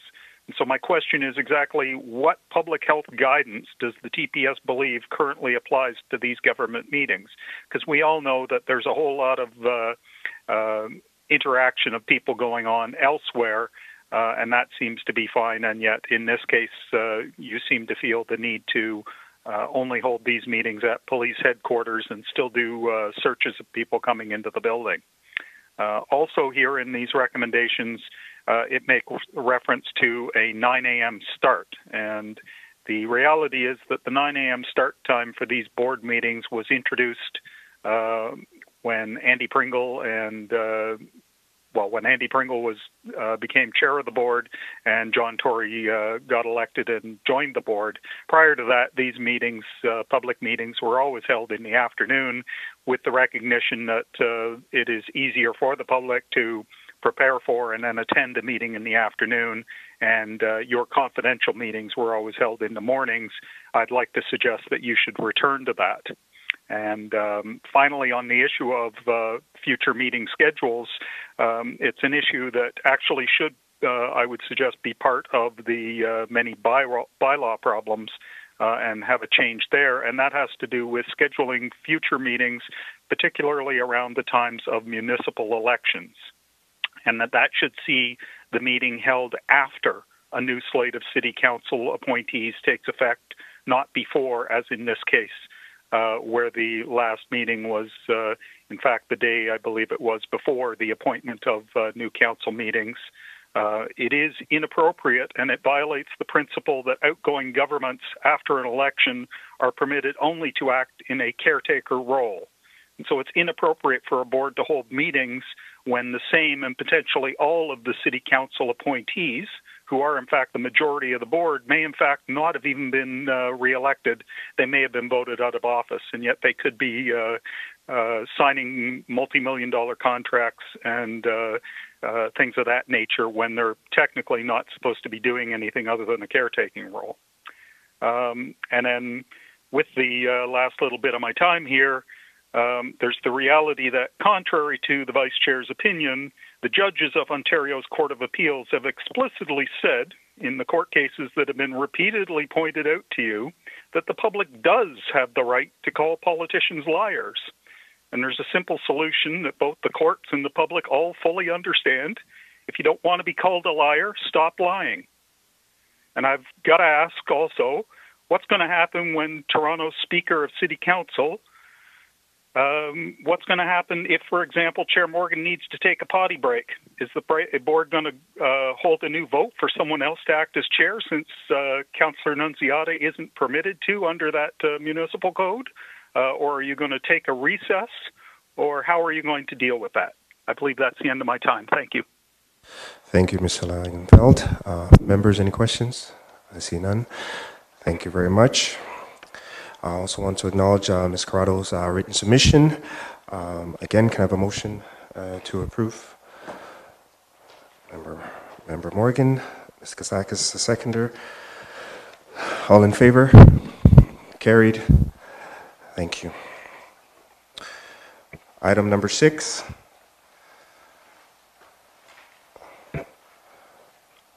Mr. Langenfeld.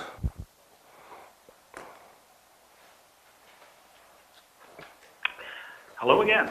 Um, so I'll start with the same question here that uh, comes up every time with these uh, similar donations, and that's uh, how much is it going to cost taxpayers every year to look after these horses that uh, these donations are going to be used for, uh, to house them, feed them, pay their vet bills, train them, etc. Um, that uh, how much are these donations actually call, costing us? Unlike the dogs, which at least are housed, fed, and cared for by their human partners, I'll bet none of the officers in the mounted unit are taking their equestrian partners back to their downtown condos to bed down for the end of the day. Um, and even the Royal Canadian Mounted Police no longer uses horses operationally, which raises the question how is it that Toronto Police nonetheless keep telling us that horses are justified?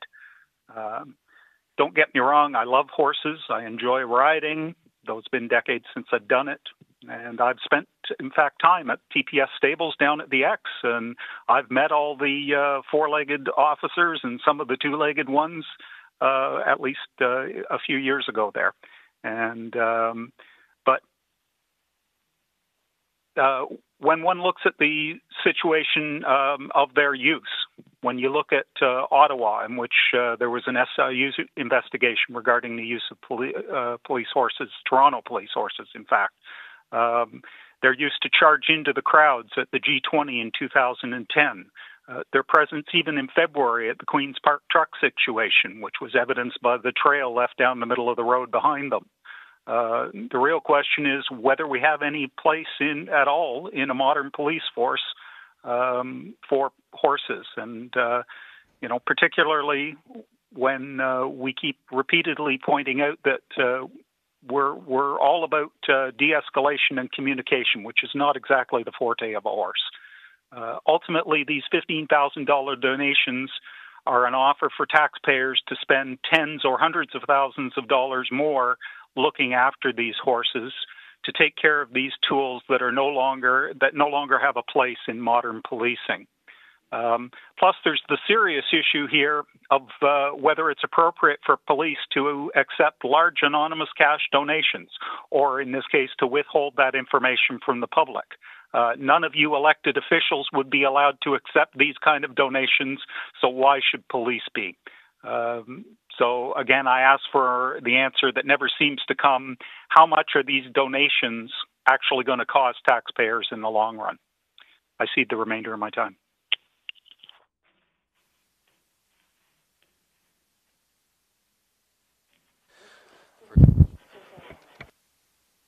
Thank you, Mr. Langenfeld. Uh, any questions, members? I, see none. Uh, maybe a response from uh, the service?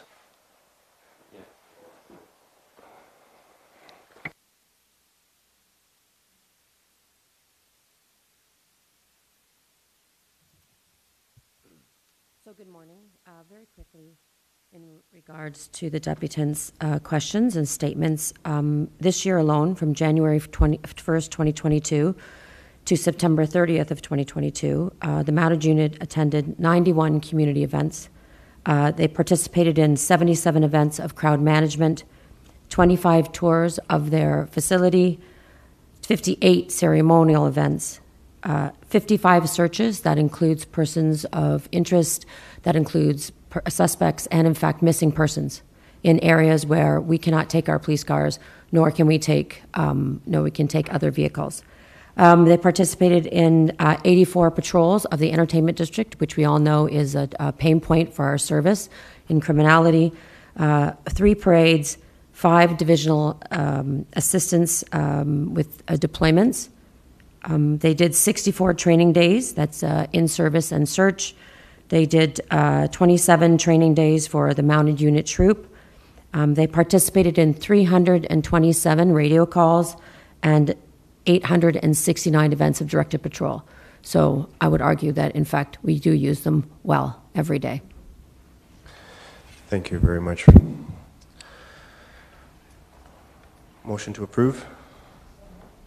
Councilor Nunziata.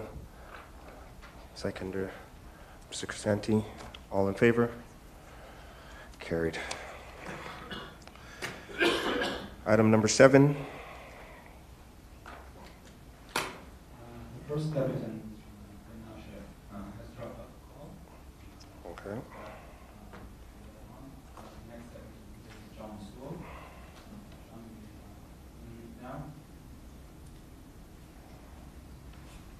It's John Sewell here. Can you hear me? Thank you. Um, so we're dealing here with $100 million. That's the cost of body worn cameras, in car cameras, and conducted energy weapons over five years. $20 million every year for five years. Imagine what $20 million could do to take people out of tents and shelters and put them in supportive and accessible housing, where they, while they, where they will not suffer from the many health problems which affect anyone forced to live in the streets, problems which can lead to violence, criminalization, isolation, and marginalization. Does this expenditure of $100 million reduce crime? No. Does it make the public safer? No. Is it a good way to spend public money? No.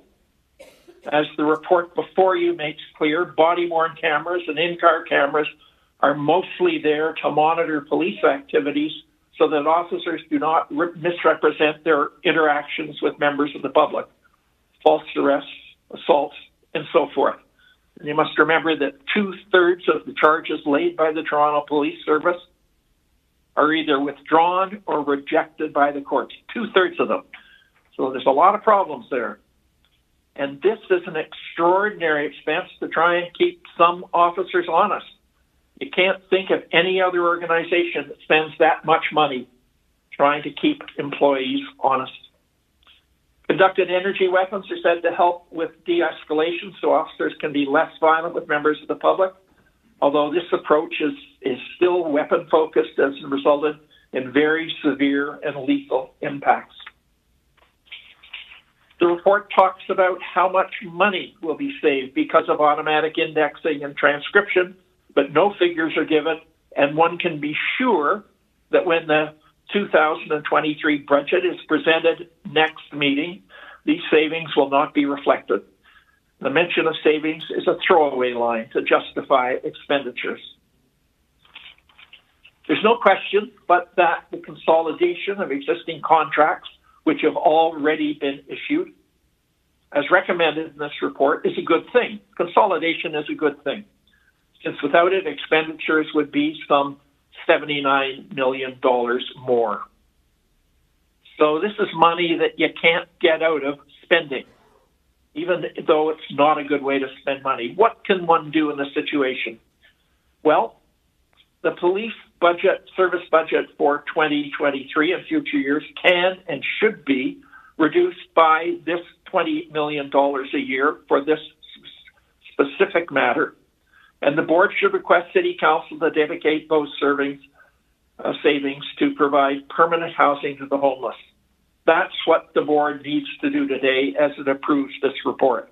Just to simply spend this money as though it's a good idea, $100 million, in my opinion, is really, really wrong. And our organization would ask you to make the motion that we've suggested of actually saying you're going to give that amount of money every year to City Council for the next five years so we can actually devote it to something very useful, which is dealing with the homeless. Thank you. Thank you, Mr. Sewell. Members, any questions? I see none. Um, I'd just like to maybe throw it over to Mr. Stairs and Mr. Alwell if they want to provide some comments to what we heard. Sure, while uh, Colin is um, getting seats front, I just wanted to clarify the cost piece. Um, it's over a 10 year period, not over a five year period, and that translates um, in the first five years to about 8 million, um, on average 8 million a year, and um, in on the second uh, five years, 10 million a year.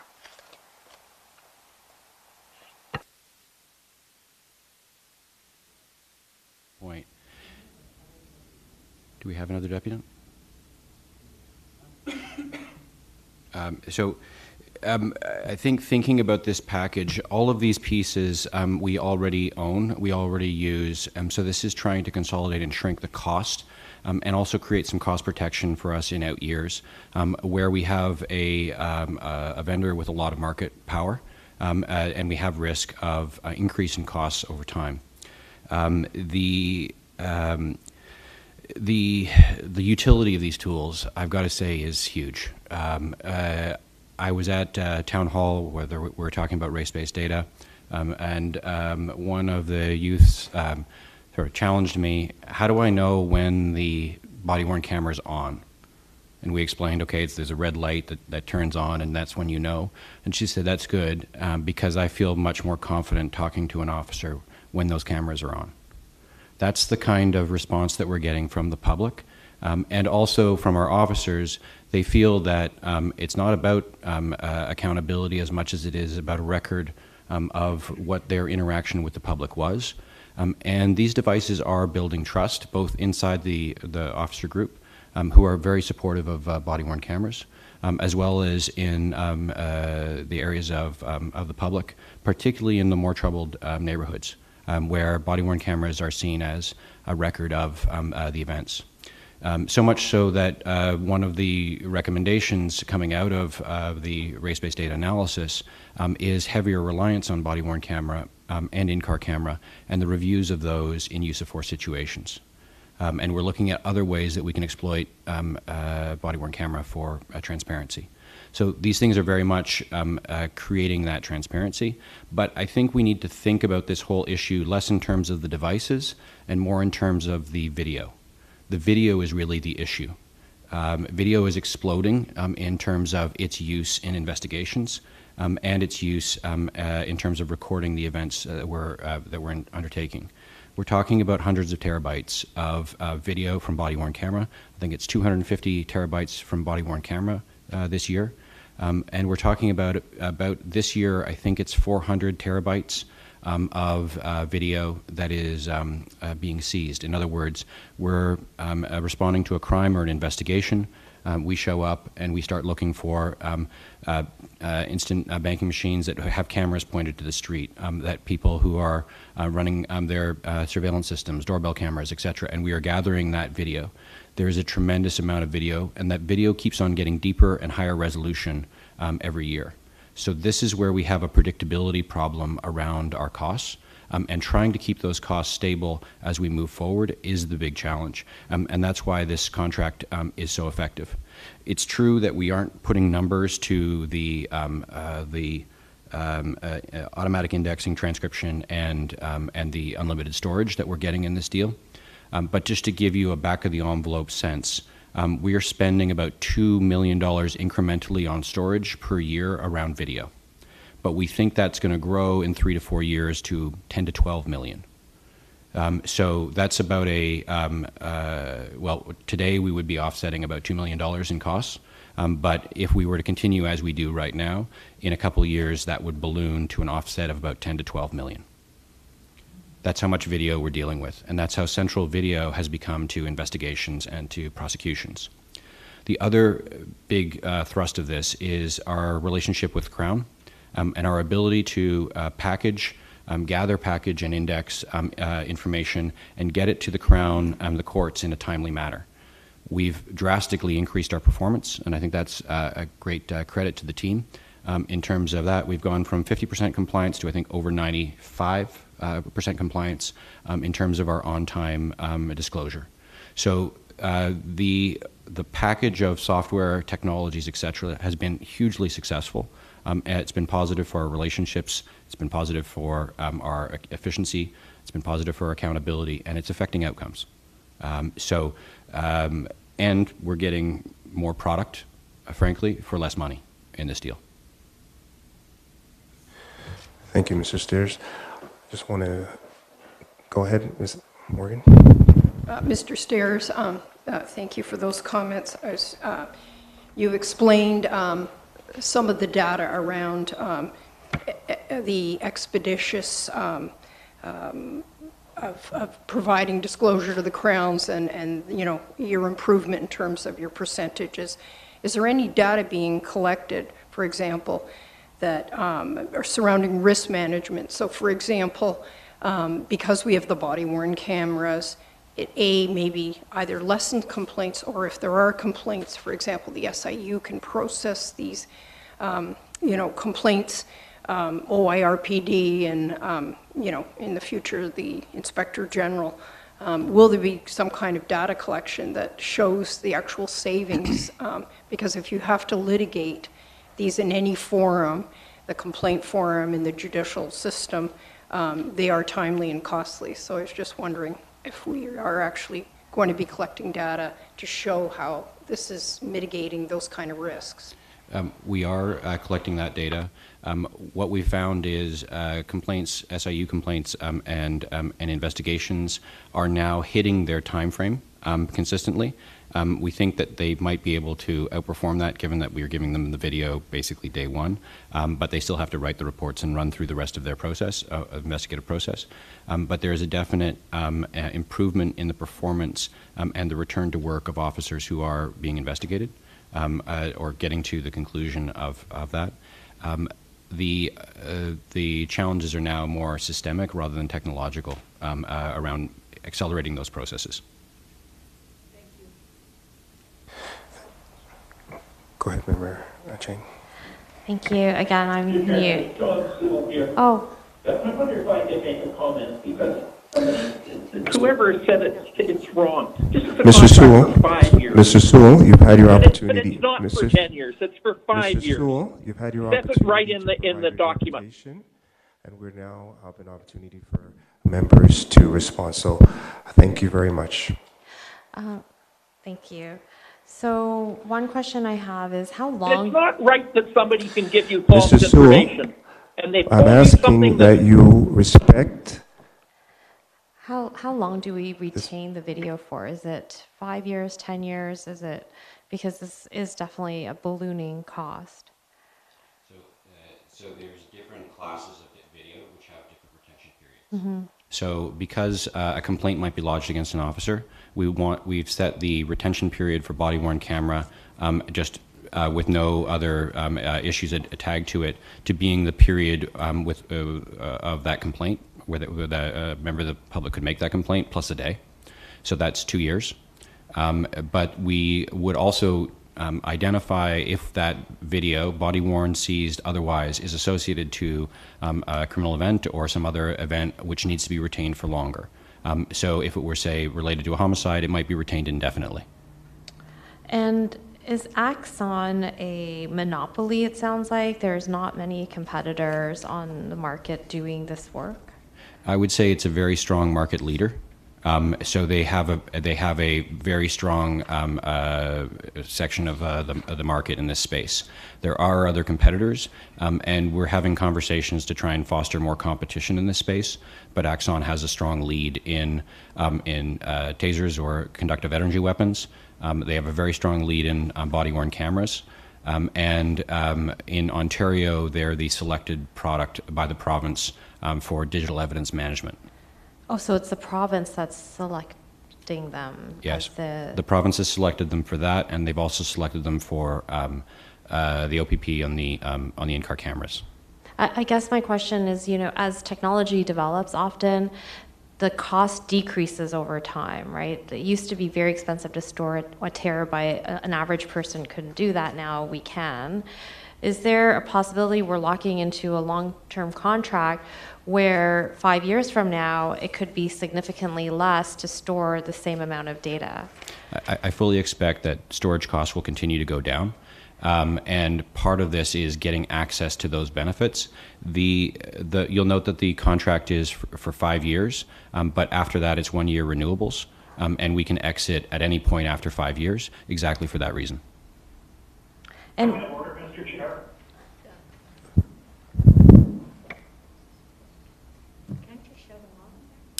I, I just have one last question. What percent? Chairman, point of order. The- Mr. the, board Mr. Miss- has a question. Mr. Sewell, I'm going to ask that you respect the process. Mr. Langenfeld, it's Ryan. We know that you haven't made your deputation yet, and you're next. We went out of order a bit, but we will certainly come to you. I have just one last question. What percentage of officers are wearing body cameras? And if they don't turn it on, what is the consequence? So um, all our officers were fully deployed on body worn camera right now, um, and we're just extending it to our ETF teams, um, tactical teams. Um, so uh, essentially, all uniformed and identifiable officers will be wearing a body worn camera. If someone's an undercover or if they're plainclothes, they won't be wearing um, uh, the camera. Um, and um, it is considered um, uh, a breach um, of discipline if they don't turn on the camera. Um, the point which they turn on the camera is as soon as they start any investigative process. So basically, as they're arriving on scene, they're turning on the camera. Um, and so anybody who's interacting with an officer in that kind of situation should expect to see the camera on the officer with the red lights um, recording the event. Thank you. Thank you, Mr. Stairs. No other questions? Uh, I would now like to ask Mr. Langenfeld to provide his opportunity for uh, his deputation. Mr. Langenfeld?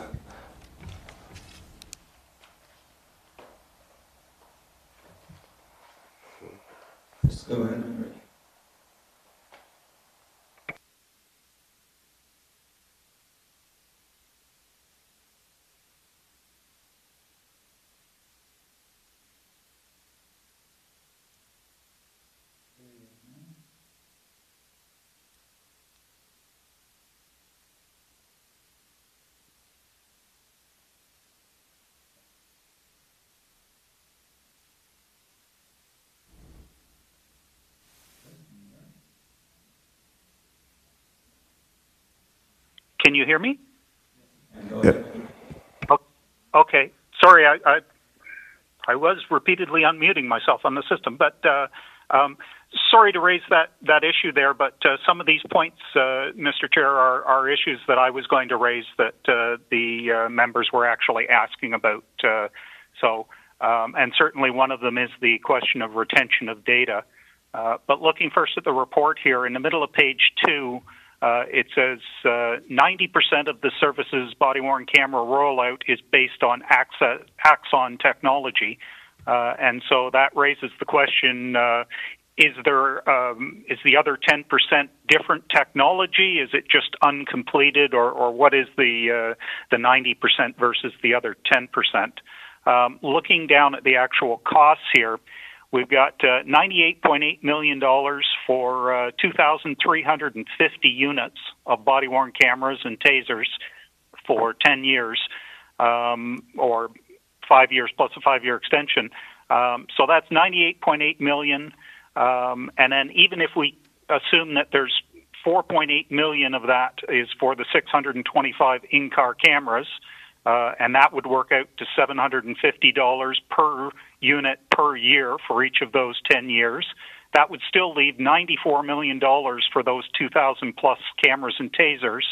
So over 10 years, that works out to $4,000 per pair of units uh, per year. And then when you go looking at retail prices for these units, um, a body worn camera, well, the most expensive GoPro unit, which is the best comparable thing, is a th- less than $1,000 per year.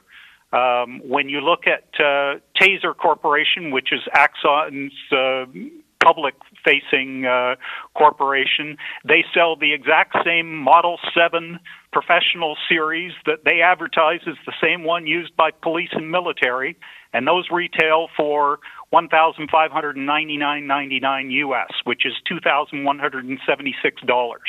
Um, so if you take that math, um, even at four thousand dollars, that your your pricing at ninety four million dollars uh, for those two thousand units works out at four thousand dollars. So basically, that's enough to buy brand new equipment every single year of this uh, contract, um, which brings into question the value of the contract. And then there's going back to last month, wasn't the whole justification of the $187 million ONEX uh, contract in November about obtaining the specialized expertise in technology, uh, areas like cloud storage, which was required because of the massive amounts of data specifically related to body worn cameras and in car cameras. And yet, this contract is all about data storage for that, that what you say you needed that Onyx uh, $200 million uh, 10 year contract for. So, isn't this the same data for that uh, 100 terabytes of data storage by Axon? And if this $98.8 million contract provides the needed video evidence data storage, then beyond support of computer equipment for the services, roughly 8,000 employees, what's the Onyx contract for? And if it's only for the 8,000 employees over 10 years, that's $2,300 per employee per year. uh, which seems unreasonable from that Onyx uh, contract. Given the amount of uh, money involved in these multiple IT contracts, I'd like to suggest first the board should be getting a separate report uh, from the IT department that breaks down and summarizes simply all IT costs, uh, expenses, including all contracts, all related IT uh, capital accounts, all IT department costs, all in a single summary report. And second, it seems that it would be appropriate for the service to hire one person to provide an in-depth analysis of what alternatives can be found uh, as opposed to the global uh, monopoly from Axon Corporation, considering that this is a $10 million a year contract with Axon. I think we can justify paying one person to see if there aren't some alternatives, uh, including, uh, as I mentioned, GoPro, and I believe there may be other taser manufacturers as well. I believe that's the end of my time. Thank you, Mr. Langenfeld. Members, uh, maybe Ms. Uh, Donaldwall or Mr. Stairs, you can add some additional uh, comments to what we heard. Sure, I'll just very quickly clarify the 90%. Um, the point of that statement was that, first of all, step one, this is already existing purchases. We already have 2,350 body worn cameras already procured in the service. The question was, we need an additional 250, and what do we do with that? So the 90% refers to the fact that if we already have 2350 cameras of a certain maker model, it would be very um, unfeasible and unsustainable to then find a new maker model for the extra 250. So that's what that 90% relates to. I, think there's also, again, um, I'll, I'll try and answer the question about uh, um, Onyx contract and what we're storing um, there versus what we're storing with, um, uh, with Axon. Axon is purely digital evidence um, uh, management. Um, so, interview rooms, um, body worn cameras, seized evidence, um, in car camera. Um, those are the streams of, of video that we're getting. The Onyx storage is everything else which may also include videos that have been downloaded, are being used for forensic analysis, are being um, uh, held in team files. Um, there is some duplication between those data sets, um, and we're working on making our processes more efficient so that the digital evidence is only stored um, in the Axon cloud. But right now, there is some duplication, um, and so we're seeing this video growth in both sides, as well as we're seeing um, a lot more uh, digital evidence being captured. Think about a fraud investigation um, and all the uh, the documentation that comes through a fraud investigation. There's um, an explosion of data across the board um, that we're coping with. Um, some of that video um, explosion is happening on the Onyx side, uh, in our own data centers, and we're trying to catch up by having more cloud technology and less on-prem technology. Axon's cloud is already there. Um, and they're able to provide lower tiers of storage that's more cost effective, and that's why moving into this deal makes sense for us. So there's a little bit of overlap between those two, um, but there's a substantial amount of, um, of uh, separation between the types of things that we store on Axon and the types of things that we store on-prem and um, in our own um, uh, data centers. The other point I would say is um, uh, there's a strong focus by the deputant on um, the devices um, and the cost of the devices. There's support, uh, maintenance, um, consumables uh, with respect to these devices, both data and physical consumables. Um, and um, the body worn cameras that our officers are wearing are in no way comparable to a GoPro. Um, the uh, the officers' uh, cameras have to continuously record for 12 hours in frigid cold, um, and they have to be able to do that consistently and reliably. So we put um, uh, all of these devices through rigorous testing. We had um, a side-by-side RFP, um, and we put them through um, those challenging uh, paces in cold weather, in hot weather, um, and most devices did not measure up. And I can tell you, because I have a GoPro, um, if you take it skiing, you've got maybe half an hour to an hour of, of storage on that thing before its battery cuts out. So this is purpose-built policing technology.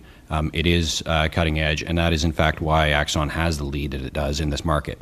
I do expect others will catch up, but for now, um, there is really only one player that's able to provide that 12 hour um, battery life in the kinds of conditions that our officers are exposed to. Thank you, Mr. Stairs. Councilor Nunziata, you had a question? Just one uh, clarification. Uh, so the in-camera equipment, uh, we need to order that be, uh, before uh, the end of December. Um, to utilize the provincial grant um, that uh, ends on March 31st, just so we're clear on that. So that's the reason why it's here, and we need to approve this now, or we'll lose the provincial grant that That- expires. That is one of the elements of urgency. Um, uh, what's happening here is the province is moving um, to electronic va- uh, VAL tags um, and changing the VAL tag program. Part of that is putting in all Ontario uh, squad cars uh, the ability to um, have these cameras and to do automatic license plate recognition, and then to check that license plate against the uh, the VAL tag system. So um, in um, in trying to make that move, the province is funding um, this change um, for many police services, all police services, um, and we are participating in that change as uh, good citizens of Ontario. Thank you. Thank you, Mr. Stairs, and thank you, Mr. Hall. Could I have a motion to, oh, Ms. Morgan, seconder, Mr. Crisanti. All in favor? Carried. I also want to thank um, Ms. Corrado for also uh, her written submission. We move on now to item, item number eight. Mr. Langenfeld, deputation. Yes, thank you. Can you hear me? Yes, we can. Okay, uh, thank you.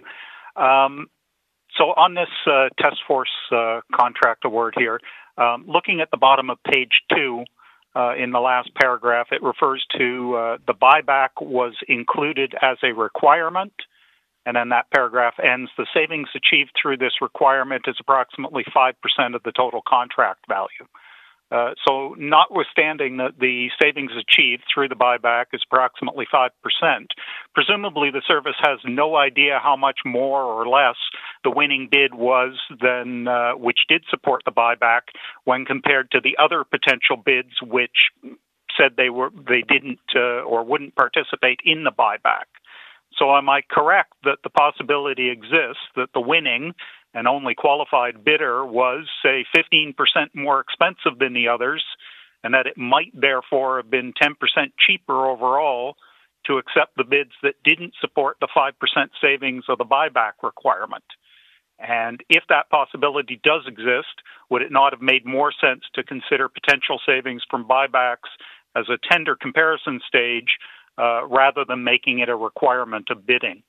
Um, or is that just my misunderstanding something here of how this really worked? And then, uh, since I don't have the luxury of waiting for an answer on that, I'll continue on the assumption that I may be correct. Uh, given that the contract seems otherwise reasonable and without issue, and seeing as the only alternative would uh, uh, to approval would seem to be retendering the whole contract, uh, which would create other fairness, unfairness issues, there doesn't seem to be any alternative other than the board to approve this contract award to Task Force. However, there seems to be an ongoing issue with the practices used in the bidding of more than uh, one of these IT projects recently. So perhaps the city purchasing officer could assign someone to work with the service on a temporary basis in order to improve their procedures going forward uh, a recommendation that I make on the unproven assumption that the, these types of issues don't typically occur on the city side. And however, in lieu of that uh, specialized assistance becoming available, as a general recommendation to those involved on the service side in preparation of these tender requests, I, as someone who has at least a little experience on the other side of this process, having worked in preparing vendors' bids for government contracts, I'd just say in future, don't make wishes and wants requirements in your bids. Rather, make those part of the evaluation criteria. Fully disclose that those factors will make up part of the analysis phase and leave it to the suppliers to offer you the best that they have to offer and allow them to apply their expertise to try and offer you the best solutions which you can choose from nothing should be a requirement unless the lack of it would make it impossible for you to achieve your mandatory goals. And uh, I, I, hope that that uh, recommendation is somehow helpful to you. I cede the remainder of my time. Thank you, Mr. Langenfeld. Members? Mr. Stairs would like to provide a response. Uh, yeah, so I take, I take the point. Uh, Doobie, can I get the mic? I take the point that um, uh, that that that this consideration um, uh, it certainly has the appearance of, of looking like it was um, uh, mandatory. It was not a mandatory requirement um, in the procurement. It was a requirement, um, but not a mandatory requirement. And bidders could have submitted without the buyback. Um, Five percent is sort of marginal. Um, in terms of recouping the, the value of this equipment. This equipment is very specialized. It's, um, it's used to maintain, test, evaluate um, uh, the, uh, the radio systems um, that um, our officers wear. Um, and um, our tower systems. So this is this is a very specific uh, equipment with a relatively small market of people who can uh, provide testing equipment to evaluate it and, um, and uh, keep it keep up the maintenance. So what we're what we're trying to do here is recoup some of the uh, existing value on the old um, devices and struggling with um, how to put that into the procurement without making it mandatory, which we didn't. Um, I think what we're we're reading into this is some of the vendors were turned off by the um, the ask that they provide a way to buy back the equipment, um, and for that reason, um, they did not take up and they did not submit um, bids. So we wound up with one bidder who sub- submitted and did have a buyback option in their proposal, which only amounted to five percent of the um, the contract value.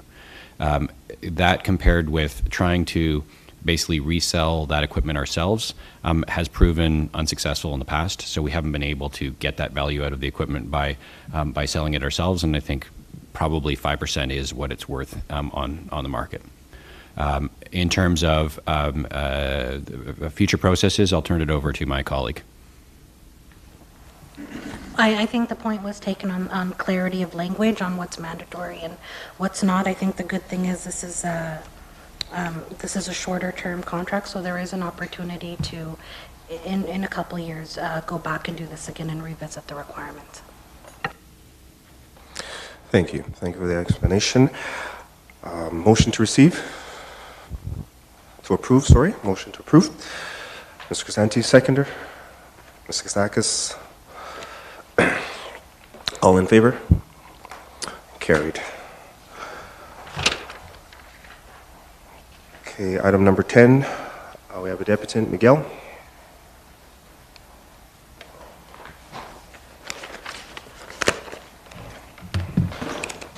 Thank you uh, for the opportunity to address this important item on the agenda, TCSC Special Constables. So on last December the 8th, uh, the TCSC board met to discuss the quarterly update on Violence Reduction, Reduction Program Update, or they call it BRP. I spoke on this matter because my concerns are related to the deployment of more CCTV cameras at my building and some issues related to safety in Regent Park. I am a member of the Regent Park Neighborhood Association. I, I, wear different hats in the community.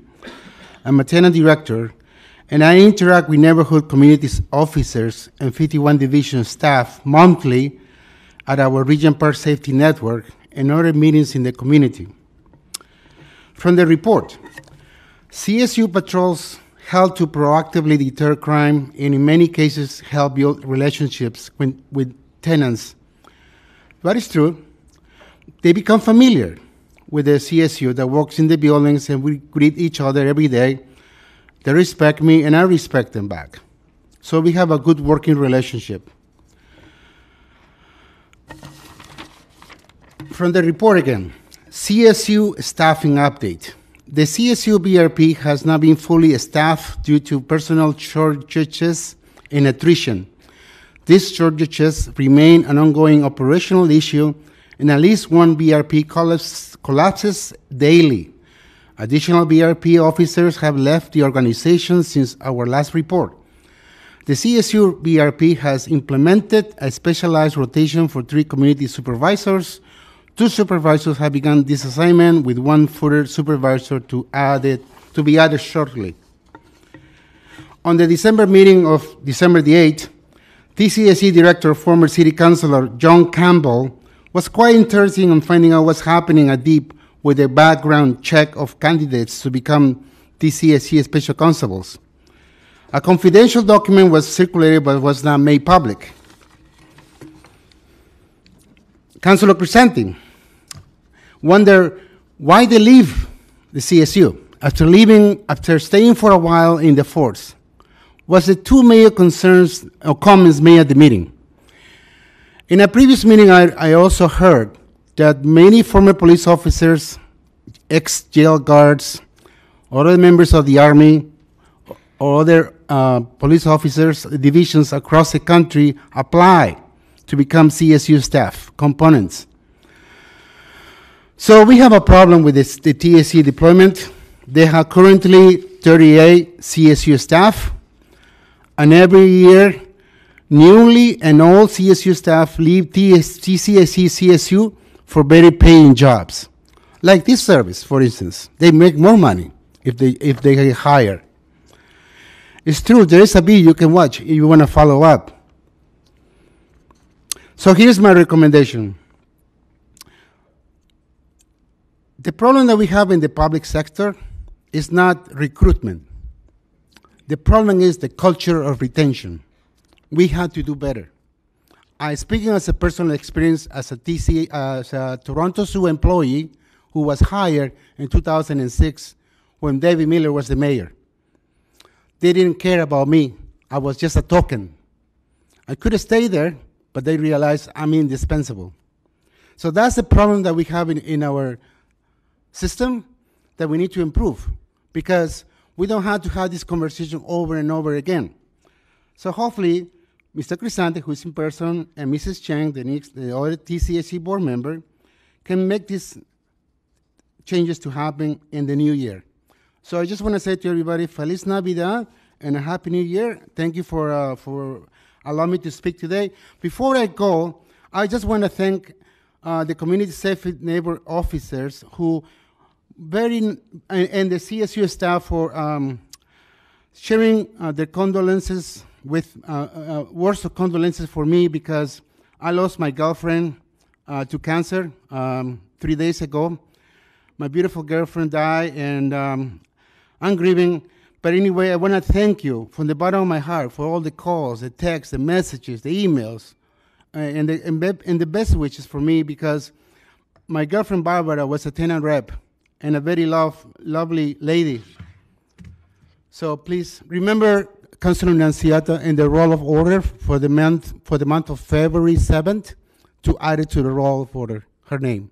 Thank you. And that concludes my deputation. Condolences to you from the board. Members, thank you.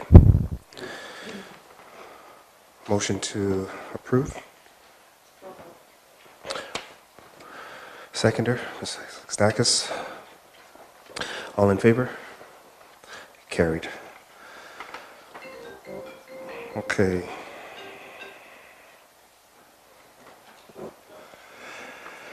Item number 11. Have a deputation, Derek.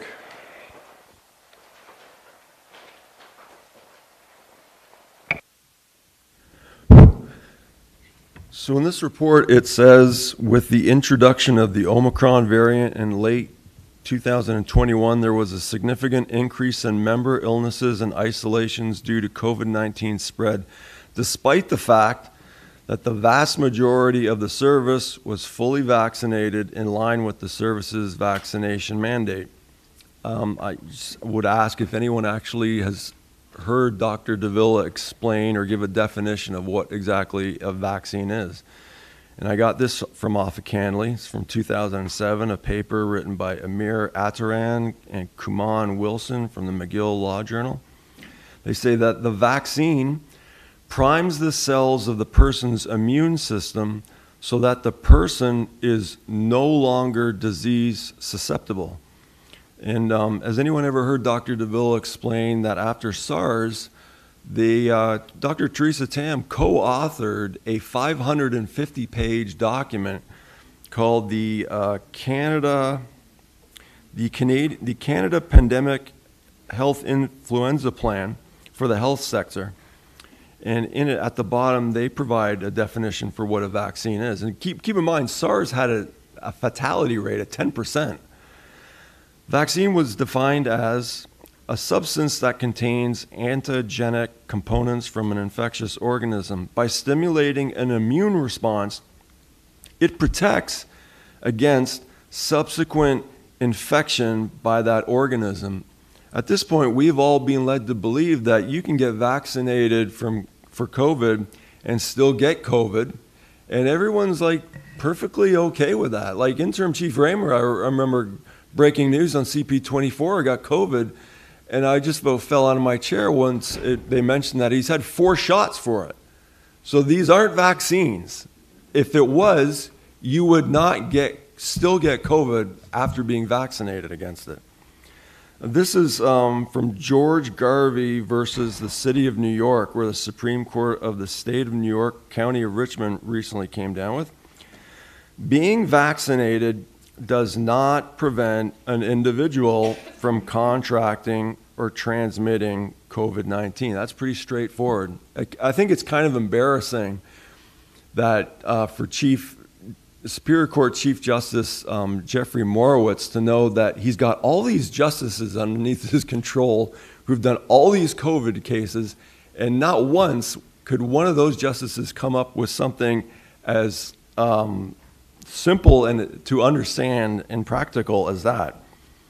So in this report, it also says, secondarily of note with the implementation of the services COVID-19 vaccination mandate, a number of claims related to this mandate, either directly or indirectly, were reported. All claims received during this period are being reviewed with respect to their relation to the mandate and adjudicated accordingly.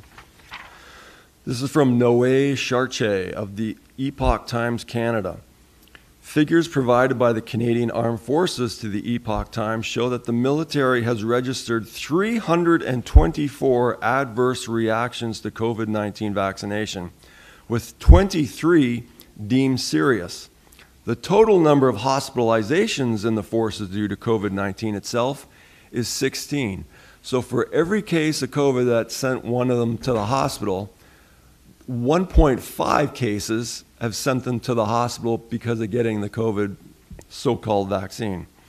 This is from a TED talk put on by Tal Zaks, the chief medical officer of Moderna.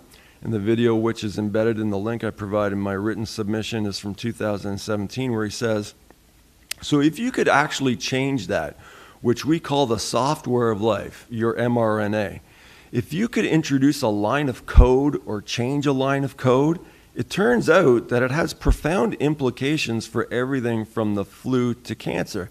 Now, uh, Supreme Court of Canada actually has covered this before. From 2002, Harvard College versus Canada, Commissioner of Patents. It said the modification or mutation of even a single gene can have colossal consequences. It is instructive, for example, to note the description of Tay Sachs disease mentioned earlier, which results in infantile deaths from the mutation of but a single gene. Let's not forget that once before, I, have said this before uh, at this board, that Moderna, to their, to their um, credit, has been transparent enough to say in their own annual reports and have admitted that currently mRNA is considered a gene therapy product by the FDA. So, what you all think that you've been injecting yourselves as being a vaccine, Moderna is admitting to themselves uh, out loud for anyone who's willing to do the research and read that it's really a gene therapy product. And uh, earlier at this board, a few months ago, I read uh, something off of CanLII from uh, Dr. Timothy Caulfield, who said that gene therapies got shut down a while back in the States because people were dying from it. So, you know, if you're taking the Toronto Police Service to court, you might want to put all this stuff out there about like these aren't vaccines, these are gene therapy products, and they're hurting people, if not killing them. Thank you, Derek. Members, questions? I see none. Um, I'll move receipt of the report, and I've had five shots. I have a seconder. And Morgan. All in favor? Carried. We now come to our last item.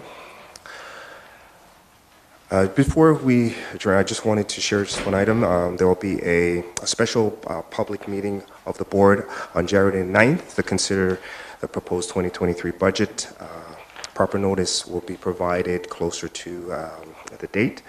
Um, So just wanted to make sure that's noted.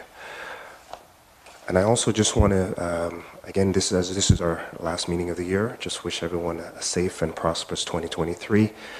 Uh, I know there's been many challenges, um, but I'm, I'm wishing the best for everyone here and, and all your families. So again, thank you for all the work and support you're doing.